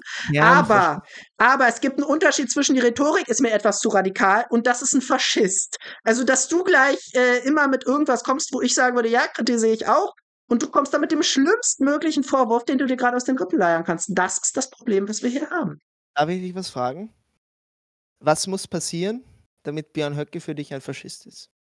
Äh, er muss eine faschistische Führerdiktatur fordern. Okay, das würde mir schon reichen. Mhm. Also das äh, wäre ja eindeutig. Okay. Wenn wir uns einen derzeitigen Faschismus äh, anschauen auf der Welt, gehen wir mal, reden wir mal von Modi. Es gibt von, kein, nein, das ist kein Faschismus. Also Indien ist kein Faschismus. Okay. Schau her, ist okay. Dann bleib lieber bei deiner Volkswirtschaftslehre. Ich mache meine Politikwissenschaft, du redest über MMT und ich rede über Politik. Also, wenn du in Indien gerne den Faschismus siehst, dann verstehe ich, wieso du auch nicht der Ansicht, auch der Ansicht bist, dass ein Höcke kein Faschist ist. Dann verstehe ich, warum du das nicht siehst. Äh, dann bist du vielleicht auf dem faschistischen Auge blind, wer weiß. Nee, ich habe also, eine andere Definition als du. Wie gesagt, ich nehme die marxistische Definition und auch Fabian Lehr, der bei mir zu Gast war, ist ein Marxist, ist jetzt kein böser Rechter, der sieht da auch keinen Faschismus dann liegt er falsch. Was soll ich machen? Also, was heißt, ich, ich meine, es ist ein konstruiert, es ist ein konstruiertes Wort, da gibt es kein richtig oder falsch. Dann verwendet er für mich einen Begriff, äh, der wenig aufschlussreich ist. So, ist, ist so höflich formuliert, wie ich kann. Äh, unfassbar. Ich habe eine also, andere Definition, unfassbar, ja. Nein, ich finde, es ist unfassbar, dass du äh, in alledem, was ich dir jetzt hier vorgebracht habe als Beispiele äh, von der Rhetorik von Bernd Höcke, äh, dass du darin kein Verschied ist. Ich finde das arg, muss ich dir wirklich sagen. Aber ähm, hey, du kannst mich gern wieder äh, blockieren, wenn du möchtest, auf Discord. Ich weiß nicht, ob ich mit. Ja, das hatte mit, wie gesagt, oh, das hatte mit Sachen zu tun, die wir da privat besprochen hatten, wo du definitiv zu weit gegangen bist, die ich, wie gesagt, nie an die Öffentlichkeit getragen habe und dabei würde ich es jetzt gerne auch belassen. Also, Jetzt, äh, was sollen denn diese unterirdischen Angriffe hier schon wieder? Du konntest hier in den Stream kommen und deine Sicht äh, erörtern. Nein, du hattest, wie gesagt, keine sonderlich guten Argumente, aber deswegen müssen wir ja keine Feinde sein. Also das einzige Problem, was wir mit Leuten wie dir haben, ist, dass ihr andere, völlig harmlose Leute, ich hatte jetzt Outlaw als Beispiel genommen, weil das ja wirklich ein umgänglicher Typ ist, der voll in der politischen Mitte steht, äh, der niemand was getan hat, äh, weil der von euch als Rechtsradikaler diffamiert wird. Das ist ein riesiges jemand, Problem, das zerstört den gesellschaftlichen Diskurs. Das ist eine absolute Katastrophe. Okay. Und das, äh, dagegen werden wir, ja. Was? Wenn jemand ein Fan von Björn Höcke ist, ist der dann in der Mitte der Gesellschaft zu verorten? Wer sagt, dass er ein Fan von Björn Höcke ist? Er war bis vor kurzem einer. Ich habe mittlerweile mit ihm gesprochen, er ist nicht mehr. Aber Siehst das, du, das also ist dann stimmt das ja nicht Ding, mal. Das mich interessieren würde. Dann stimmt das ja nicht mal mehr. Interessieren würde. Hm, ja, kannst ja auch Höcke wegen, keine Ahnung, obwohl der war Lehrer, der hat nichts öffentlich publiziert. Du kannst ihn ja auch ähm, wegen seinen historischen Analysen mögen beispielsweise. Du musst ja nicht seine also, heutigen politischen Forderungen zu 100 Prozent teilen. In der Mitte der Gesellschaft immer noch sein. Ja, selbstverständlich. Also da würde ich jetzt nicht so, ähm, es kommt ja auf die eigenen Ansichten an und nicht, wie du zu bestimmten Personen. Äh, genau, das stört mich auch an eurer Ideologie, diese, dieser religiöse Eifer, der sofort kommt, wenn man bestimmte Personen äh, anspricht, die gerade in den Medien extrem diffamiert werden. Dann verteidigt man diese Personen gleich, dann ist man auf der rechtsradikalen Seite. Das ist alles, was aus eurem Lager immer kommt. Wenn und, jemand ein Fan von. Oh Gott, nein, egal. Also, ich, ich finde es ich, ich find's arg, weil ich, ich, ich meine, ich mache hier Argumente, ich mache hier Argumente und das, was du sagst, ist, nein, ich sehe das anders um Punkt, aber da kommt, da kommt nichts mehr. Ich also finde, da das waren keine sonderlich guten Argumente. Du hast nicht belegt, was du behauptet hast. Das ist mein Punkt. Ich habe dich belegen lassen. Ich habe dich hier minutenlang reden lassen und äh, immer wieder nachgehakt, nach Belegen gefragt und da kam da nichts Großes mehr. Das ist das Problem. Das heißt, da kam nichts. Soll ich weiter vorlesen? Wenn du bessere Zitate hast als die eben, dann auf jeden Fall. Also ich muss sagen, dieses, äh, wir müssen die schutzhaltende Moderne beseitigen und gewisse Volksteile verlieren, also ich finde, das ist schon sehr faschistisch. Ich weiß nicht, ob das noch eindeutiger wird. Also er äh, verwendet eine blumige Sprache, die du jetzt auch von Evola wiedererkannt hast. Das ist blumige Sprache, es ist komplett eindeutig. Das ist, schau her, er ist vielleicht ein Idiot, aber er ist ein Idiot, der Geschichte studiert hat. Er weiß genau, was für Worte er verwendet. Das ist ja auch einer der Gründe, wieso er für den äh, SA-Slogan tatsächlich dann äh, äh, rechtlich zur Rechenschaft gezogen wurde weil man von einem Geschichtslehrer ausgehen kann, dass er weiß, dass das eine SA-Parole ist. Also ich kannte das nicht, bis das jetzt vor Gericht kam und ich meine, ich interessiere mich ziemlich für Geschichte und da jetzt von jemandem, der vor einigen Jahrzehnten mal Geschichte studiert hat, dazu erwarten, dass er das alles aus dem Kopf kennt, ist eine mutige Unterstellung, sage ich mal so, an die, an, Deutsch, an die deutsche Geschichtslehrerschaft. Schau her, wenn du in Deutschland die Schule besucht hast und nicht gewusst hast, dass alles für Deutschland der Schlachtruf der, äh, der Sturmabteilung war, dann kann ich dir nicht helfen. Ich persönlich habe in Österreich den Geschichtsunterricht besucht, ich habe das sehr wohl gewusst. Ähm, wie du es drehst und wendest, entweder ist es ein kompletter Idiot oder er ist ein Nazi. Beide Varianten. Nazi jetzt plötzlich. Eben war er noch nur ein Faschist. Jetzt ist er, also erklär mal, wieso soll er Nazi sein? Das kannst du jetzt, äh, glaube ich, nochmal getrennt begründen. Also da gehört ja noch ein bisschen mehr zu als zu Faschismus. Schau her, schau her. wenn jemand bewusst den Schlachtruf alles für Deutschland verwendet, dann finde ich, wenn es jemand bewusst sagt, in dem Wissen, dass das ein Nazi-Schlachtruf ist, dann finde ich es okay zu sagen, es ist ein Nazi. Oder er ist ein Idiot, weil er keine Ahnung hat von dem, was. Und, das ist schon wieder eine zirkuläre Begründung. Also, äh, Björn Höcke ist ein Nazi, weil er den Schlachtruf alles für Deutschland verwendet. Nein. Und warum nein, meint er alles für Deutschland nationalsozialistisch? Weil er ein Nazi ist. Nein, ich habe gesagt, entweder das oder er ist ein Idiot. Er ist ein Idiot. So. Und ich finde, in beiden Fällen sollten wir nicht, ihm nicht in der Politik haben. Aber ich unterstelle ihm finde ich, mit guten Gründen, weil das hat das Gericht genauso begründet, äh, dass man von einem Geschichtslehrer tatsächlich davon ausgehen kann, dass er äh, tatsächlich den, äh, den Schlachtruf, den Werbeslogan äh, der Sturmabteilung, dass der den kennen kann. So. Vor allem, wenn man jetzt ein rechtsextremer Politiker ist. Und es ist ja nicht so rechtsradikaler. rechtsradikaler. Ich, ich, in Österreich gibt es diese Unterscheidung nicht, da verwende ich das. Ein rechtsradikaler Politiker von mir aus, weil er ist ja noch nee, nicht. Die Unterscheidung finde ich auch schwachsinnig, aber auch das, äh, wie gesagt, du hast uns den Faschismus nicht belegt. Okay, Rassismus kannst du als rechtsradikal. Okay, sagen wir, das hast du belegt. Gut, gut. Rechtsradikal kannst du, wenn da jemand so eine rassistische Aussage gemacht hat, die Bezeichnung, okay. weiß nicht, ob ich die hundertprozentig übernehmen würde, aber die kannst du, glaube ich, trennen. Die Altparteien sind inhaltlich entartet. Ist das falsch? Kannst du mit dem Begriff was anfangen?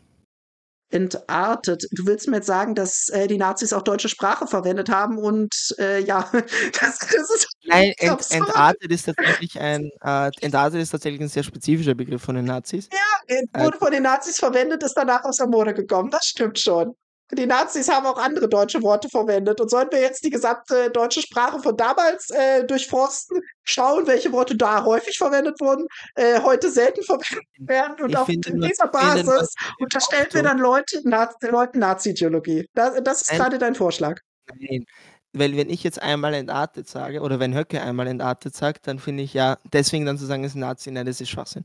Aber wenn jemand diese ganze lange Liste an komischen Zufällen, wo er halt rein zufällig immer dieselbe, es gibt auch ein Zitat, äh, wo er sagt, ein tausendjähriges Magdeburg oder so. Also wenn jemand immer wieder dieselben Begriffe verwendet, die alle, also alle, äh, von denen viele eine explizite äh, Vergangenheit in der Nazi-Ideologie haben, wenn ja, tausend, immer wieder vorkommt, ist schon wieder diese mir, Unterstellung.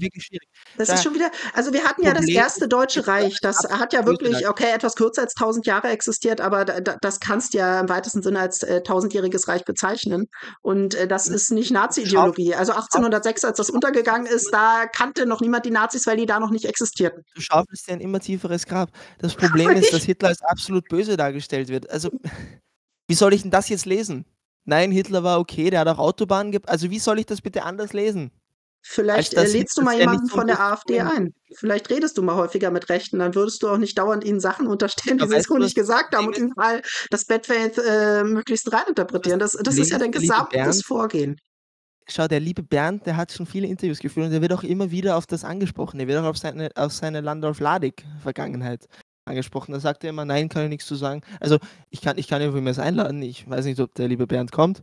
Aber er würde dann sagen, nee, kann ich dazu, gebe ich dazu keinen Kommentar, das ist diffamierend. Also wenn ich ihn darauf ansprechen würde, und das weiß ich, weil schon viele Journalistinnen ihn darauf angesprochen haben, dann sagt er einfach, nö, kein Kommentar. Also nein, werde ich nicht. Äh, ich meine, okay, vielleicht rede ich mit dem ja. Höcke. Auf das Aber Volksteile verlieren, da hat er ja geantwortet. Das hatte ich vorhin gesagt.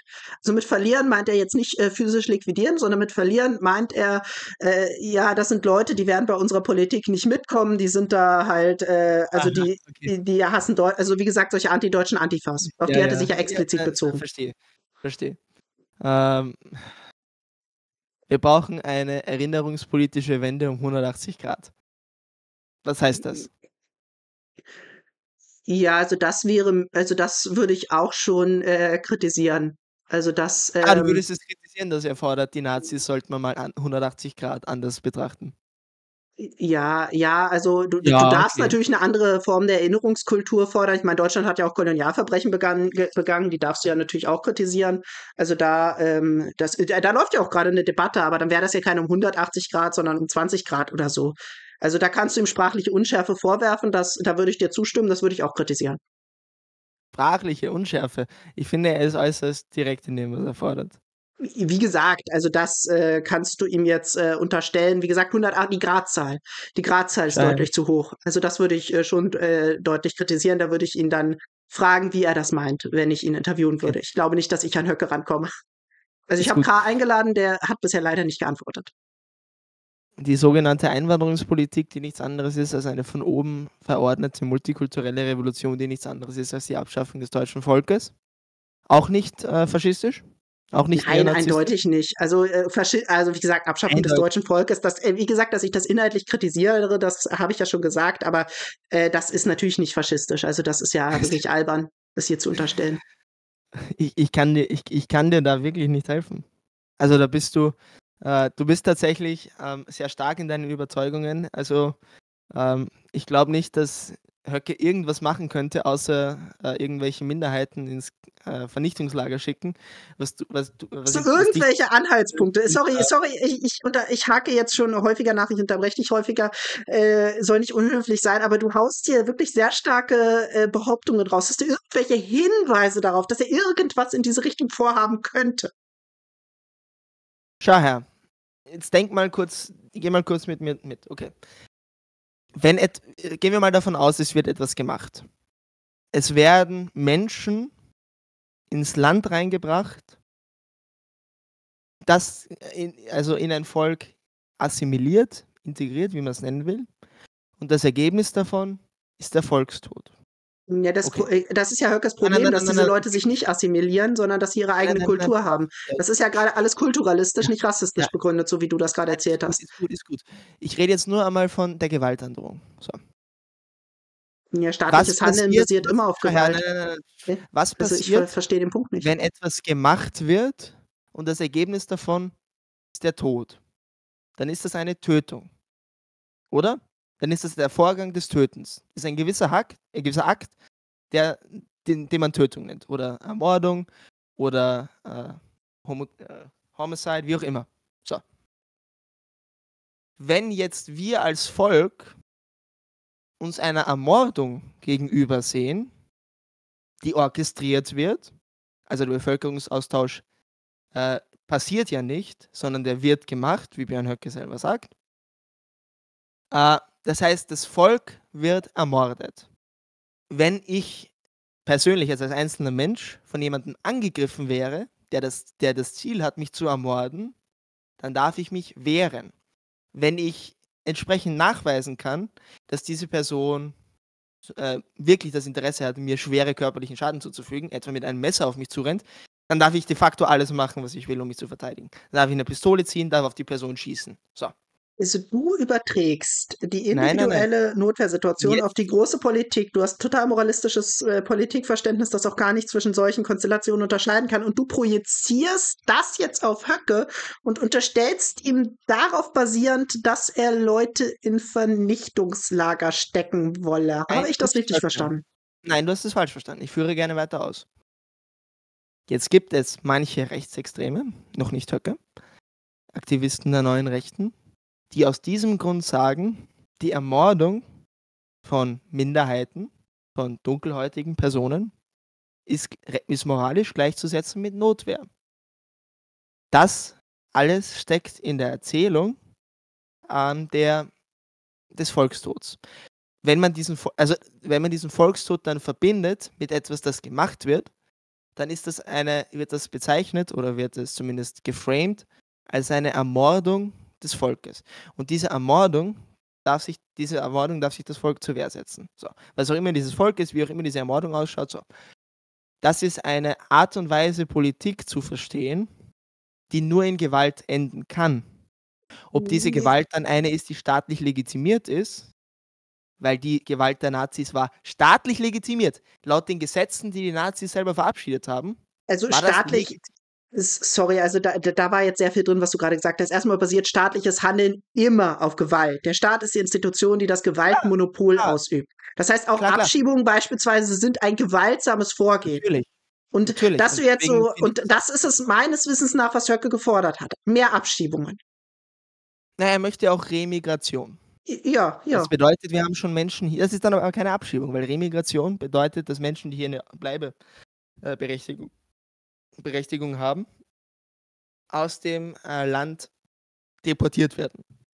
Mm, Darum ja, äh, ja, Bleibeberechtigung, die haben sie ja nur so lange, wie ein Asylgrund vorliegt. Und beispielsweise die meisten Afghanen oder Syrer, die haben ja ähm, keinen Asylgrund mehr. Also Syrien, okay, kann man sich noch Und drüber streiten, aber in Afghanistan ist ja der Krieg beispielsweise schon vollständig beendet. Und meinst du, ja, aber die Personen, die aus Afghanistan geflohen, geflohen, geflohen sind aufgrund des Krieges, wenn die da jetzt zurückkommen zur Taliban, nur weil der Krieg vorbei ist, ist es nicht, dass sie nicht trotzdem äh, gesteinigt werden. Also äh, ganz, ganz nochmal, äh, Pakistan hat genau das gemacht, so eine Remigration von afghanischen Flüchtlingen. Hast du da Berichte über groß angelegte Steinigungen und wenn ja, äh, also irgendwelche Belege? Nenn uns irgendwas. Nein, es kommt darauf an, äh, warum, weil ich weiß zum Beispiel, dass die Hürden, dass man in Deutschland oder in Europa allgemein äh, Asyl zugesprochen bekommt, sind höher ähm, als im unmittelbaren Umland. Also ich, ich nehme einmal an, und damit du in Deutschland oder Österreich als afghanischer Flüchtling akzeptiert wirst, da muss schon ein triftiger Grund vorliegen und dieser triftige Grund wäre dann auch ausschlaggebend dafür, dass du dann gesteinigt wirst. Aber um das Bild noch zu vollenden, jemand, also der sich ja dieser, Anrecht auf Asyl. Ja, ja, jemand, der sich dieser äh, epochalen äh, Rhetorik äh, bedient, die einen evolutionären Kampf zwischen den, wie hat er es genannt, äh, äh, dem, dem, äh, dem afrikanischen Ausbreitungstyp und dem weißen irgendwas. Wenn jemand das dann noch so auf, auflädt, das ist ein Politikverständnis, das nur in Gewalt enden kann. Diese Gewalt fordert er natürlich nicht explizit, weil wenn er explizit sagt, hey, weil der, weil der Volkstod äh, gemacht wird von äh, von den entarteten Altparteien und von Joe Biden und von den äh, Großkapitalisten, die irgendwie äh, unser Volk, ähm, also die den Umvolk machen wollen, wenn er dann die logische Schlussfolgerung und deswegen dürfen wir uns mit Waffen gegenüber den Eindringlingen wehren. Wenn er das sagt, dann ist er, glaube ich, sogar im Gefängnis. Also ich glaube, das ist ein, das ist ein Ausmaß an Volksverhetzung, für das er sogar ins Gefängnis gehen kann. Also natürlich sagt er den stillen Teil nicht laut.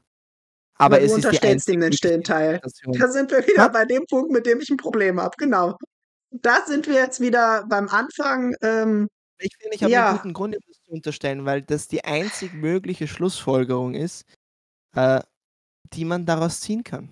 Ich finde, dass du das nicht ausreichend oder so gut wie gar nicht belegt hast. Das war jetzt eine lange konstruierte Kette. Nein, das ich, war jetzt. Soll ich also, jetzt aus, soll ich aus Handbüchern, also, also so Heften Solltest vielleicht mal häufiger mit Rechten reden, ganz einfach. Und zwar also ohne, ohne da jetzt Bad Faith reinzugehen und denen gleich das Schlimmste hab, zu unterstellen, sondern sie einfach mal einladen und sie fragen, was sie meinen, so ich das gerade mit dir gemacht habe.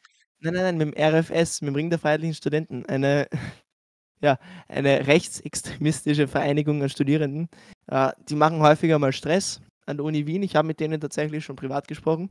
Nicht äh, so friedlich wie wir. Äh, nicht, dass ich mich mit, denen geprügelt habe, aber es war jetzt kein äh, Freund, wir haben schon angeschrien. Äh, und die sagen genau das. Also die sind wirklich, also und lieber Agitator, da, da, man muss nicht lange suchen, um genau diese Argumentation zu finden. Man muss nicht einmal so tief graben, man muss nicht irgendwie äh, rechtsextremistische Flugblätter aus den frühen 2000er Jahren hervorgraben, um dann irgendwo mal diese Argumentation zu finden.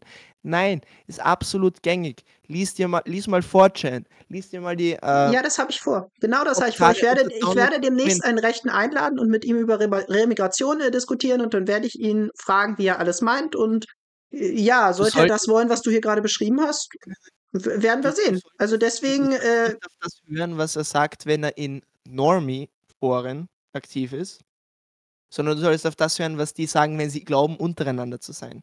Du solltest auf das hören, was sie untereinander schreiben, was sie wollen. Und wenn du, okay, dann musst du vielleicht einfach noch mehr lesen, weil du musst nicht lange suchen, äh, um genau die Argumentation, die ich gerade formuliert habe, zu finden. Aber hey, Agitator, wenn du es nicht verstehen willst, ist okay. Ähm, es gibt ja diesen schönen Satz, es ist echt schwer, einer Person etwas zu, äh, also äh, eine Person dazu bringen, zu bringen, etwas zu verstehen, wenn der Job davon abhängt, es nicht zu verstehen. Genau das, äh, genau das habe ich mir auch gerade bei euch gedacht. Das habe ich äh, sogar schon zitiert, nachdem ich ein Gespräch mit einem deiner Walkie-Kollegen hatte. Das, äh, das würde ich genauso zurückgeben. Aber ähm, schön, dass wir ah, da nicht eine, einer Meinung sind, äh, da, dass wir da nicht einer Meinung sind. Man kann ja auch unterschiedlicher Meinung sein, ohne sich gleich als Feinde zu betrachten. Oder würdest ja, du es anders ja, sehen? Man kann ja bei ganz basic Punkten wie ist Höcke ein Faschist, da kann man ja ganz andere Meinung sein. Ist ja nicht so, als gäbe es eine. Also, äh, ich, ich, kann, ich kann das eigentlich jetzt fast gar nicht ernst nehmen, muss ich sagen. Ähm, also, du möchtest wirklich darauf beharren, dass das, was ich dir jetzt hier vorgelesen habe an Zitaten, äh, keine faschistische Veranlagung in Höckes Weltanschauung liefern. Da, da bleibst du. Also ich würde sagen, einige Zitate gehen in eine kritische Richtung, aber das Belegen, was du hier gerade so stark äh, rausposaunt hast mit Faschist und danach sogar Nazi, was ja noch viel mehr als zu Faschismus gehört, Nationalsozialismus war ja eine sehr spezifische Form des Faschismus, äh, ja. das wird, dem würde ich absolut widersprechen. Nationalsozialismus ist Faschismus äh, mit nationalsozialistischen äh, Kennzeichen. Das ist einerseits, dass man von Entartung und von Degeneriertheit spricht. Ja, nicht ein, äh, Degeneration ist ein ganz normales deutsches Wort, das wird auch heute noch verwendet. Also das ist jetzt wirklich ein bisschen absurd. Also wirklich. Kommt auf den Kontext drauf an. Es gibt einen rechten YouTube-Kanal, der Degeneration heißt. Äh, lad den doch mal ein. Ich würde sagen, der ist kein Faschist. Nein, würde, ich, jetzt mal, würde ich jetzt mal mich mutig aus dem Fenster lesen. Nein, ich kenne seine Videos tatsächlich. Ich sehe da auch faschistische Narrative. Ja. nicht, weil ich irgendwie, ähm, nicht, weil ich irgendwie ein verrückter Woki bin, sondern weil, ja, ich meine, wenn du oft genug äh, mit.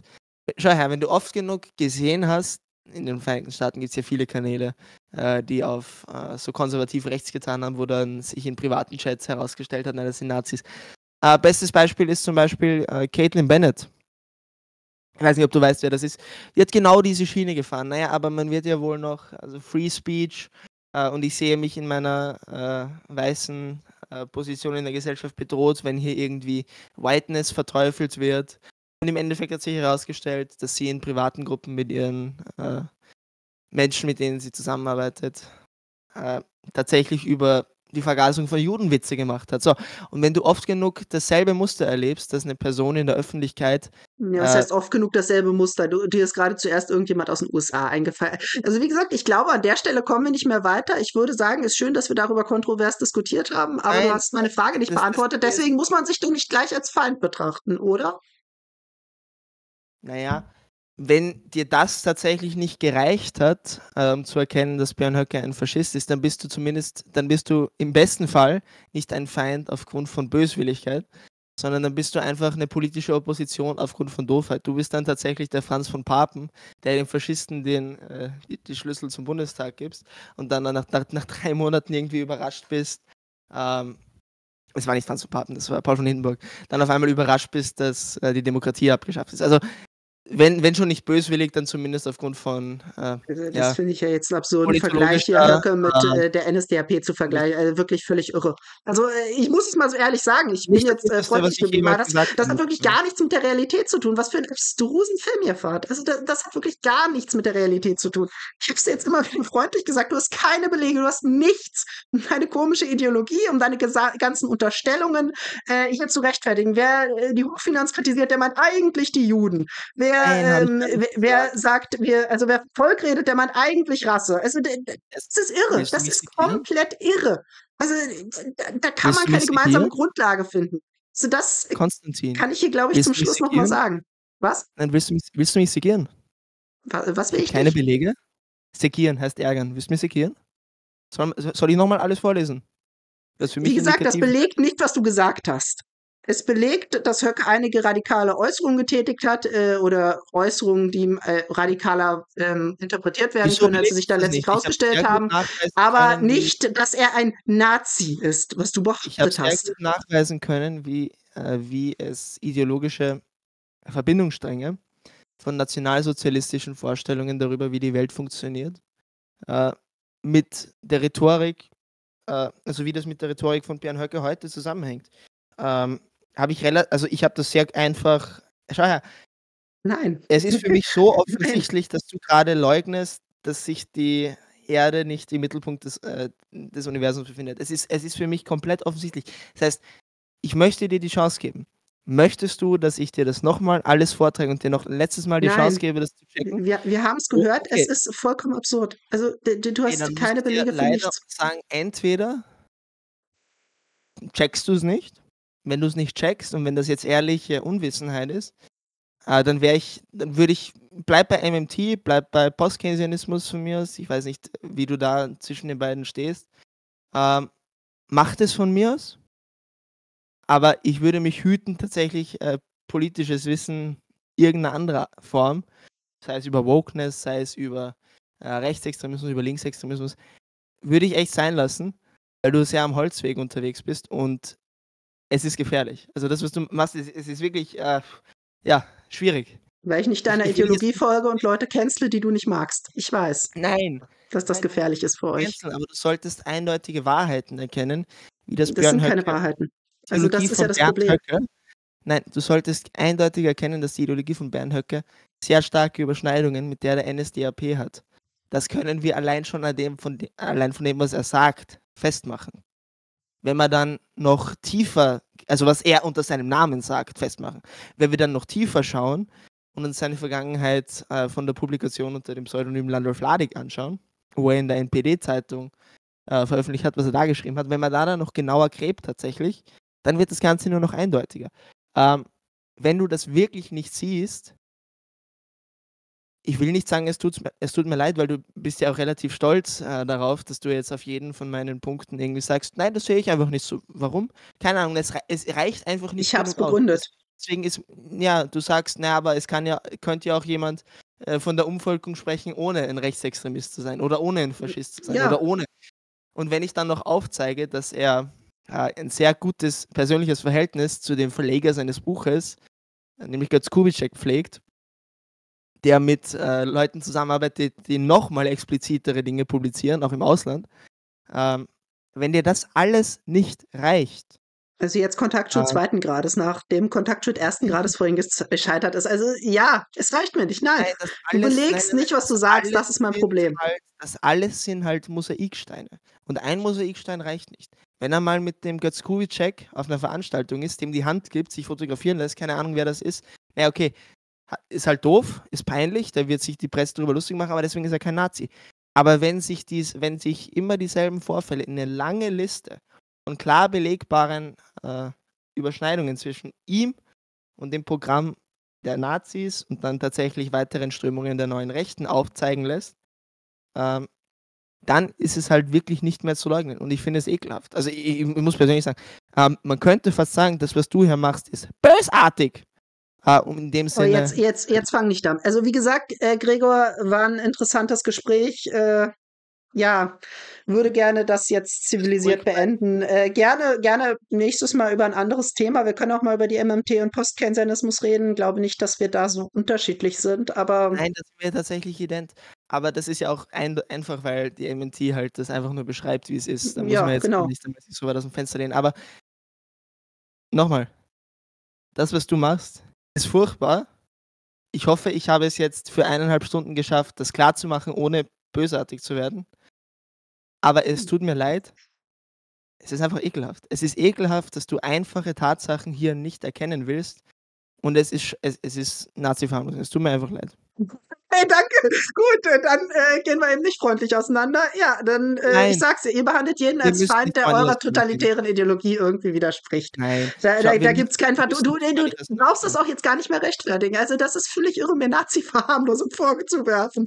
Du belegst einfach deine Aussagen nicht und wenn der andere dann sagt, du belegst deine Aussagen nicht, dann, ver äh, ja, dann verharmlost der andere Nazis. Das, äh, da, da, fällt mir nichts mehr zu ein. Ich, ich, möchte freundlich bleiben zum Schluss.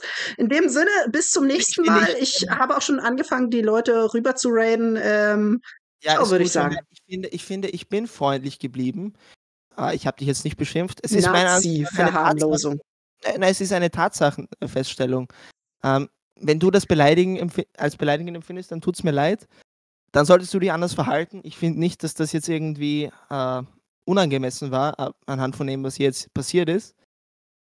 Ich, ich, ich lege dir nahe, das zu überdenken. Es ist, äh, bist auf dem Holzweg.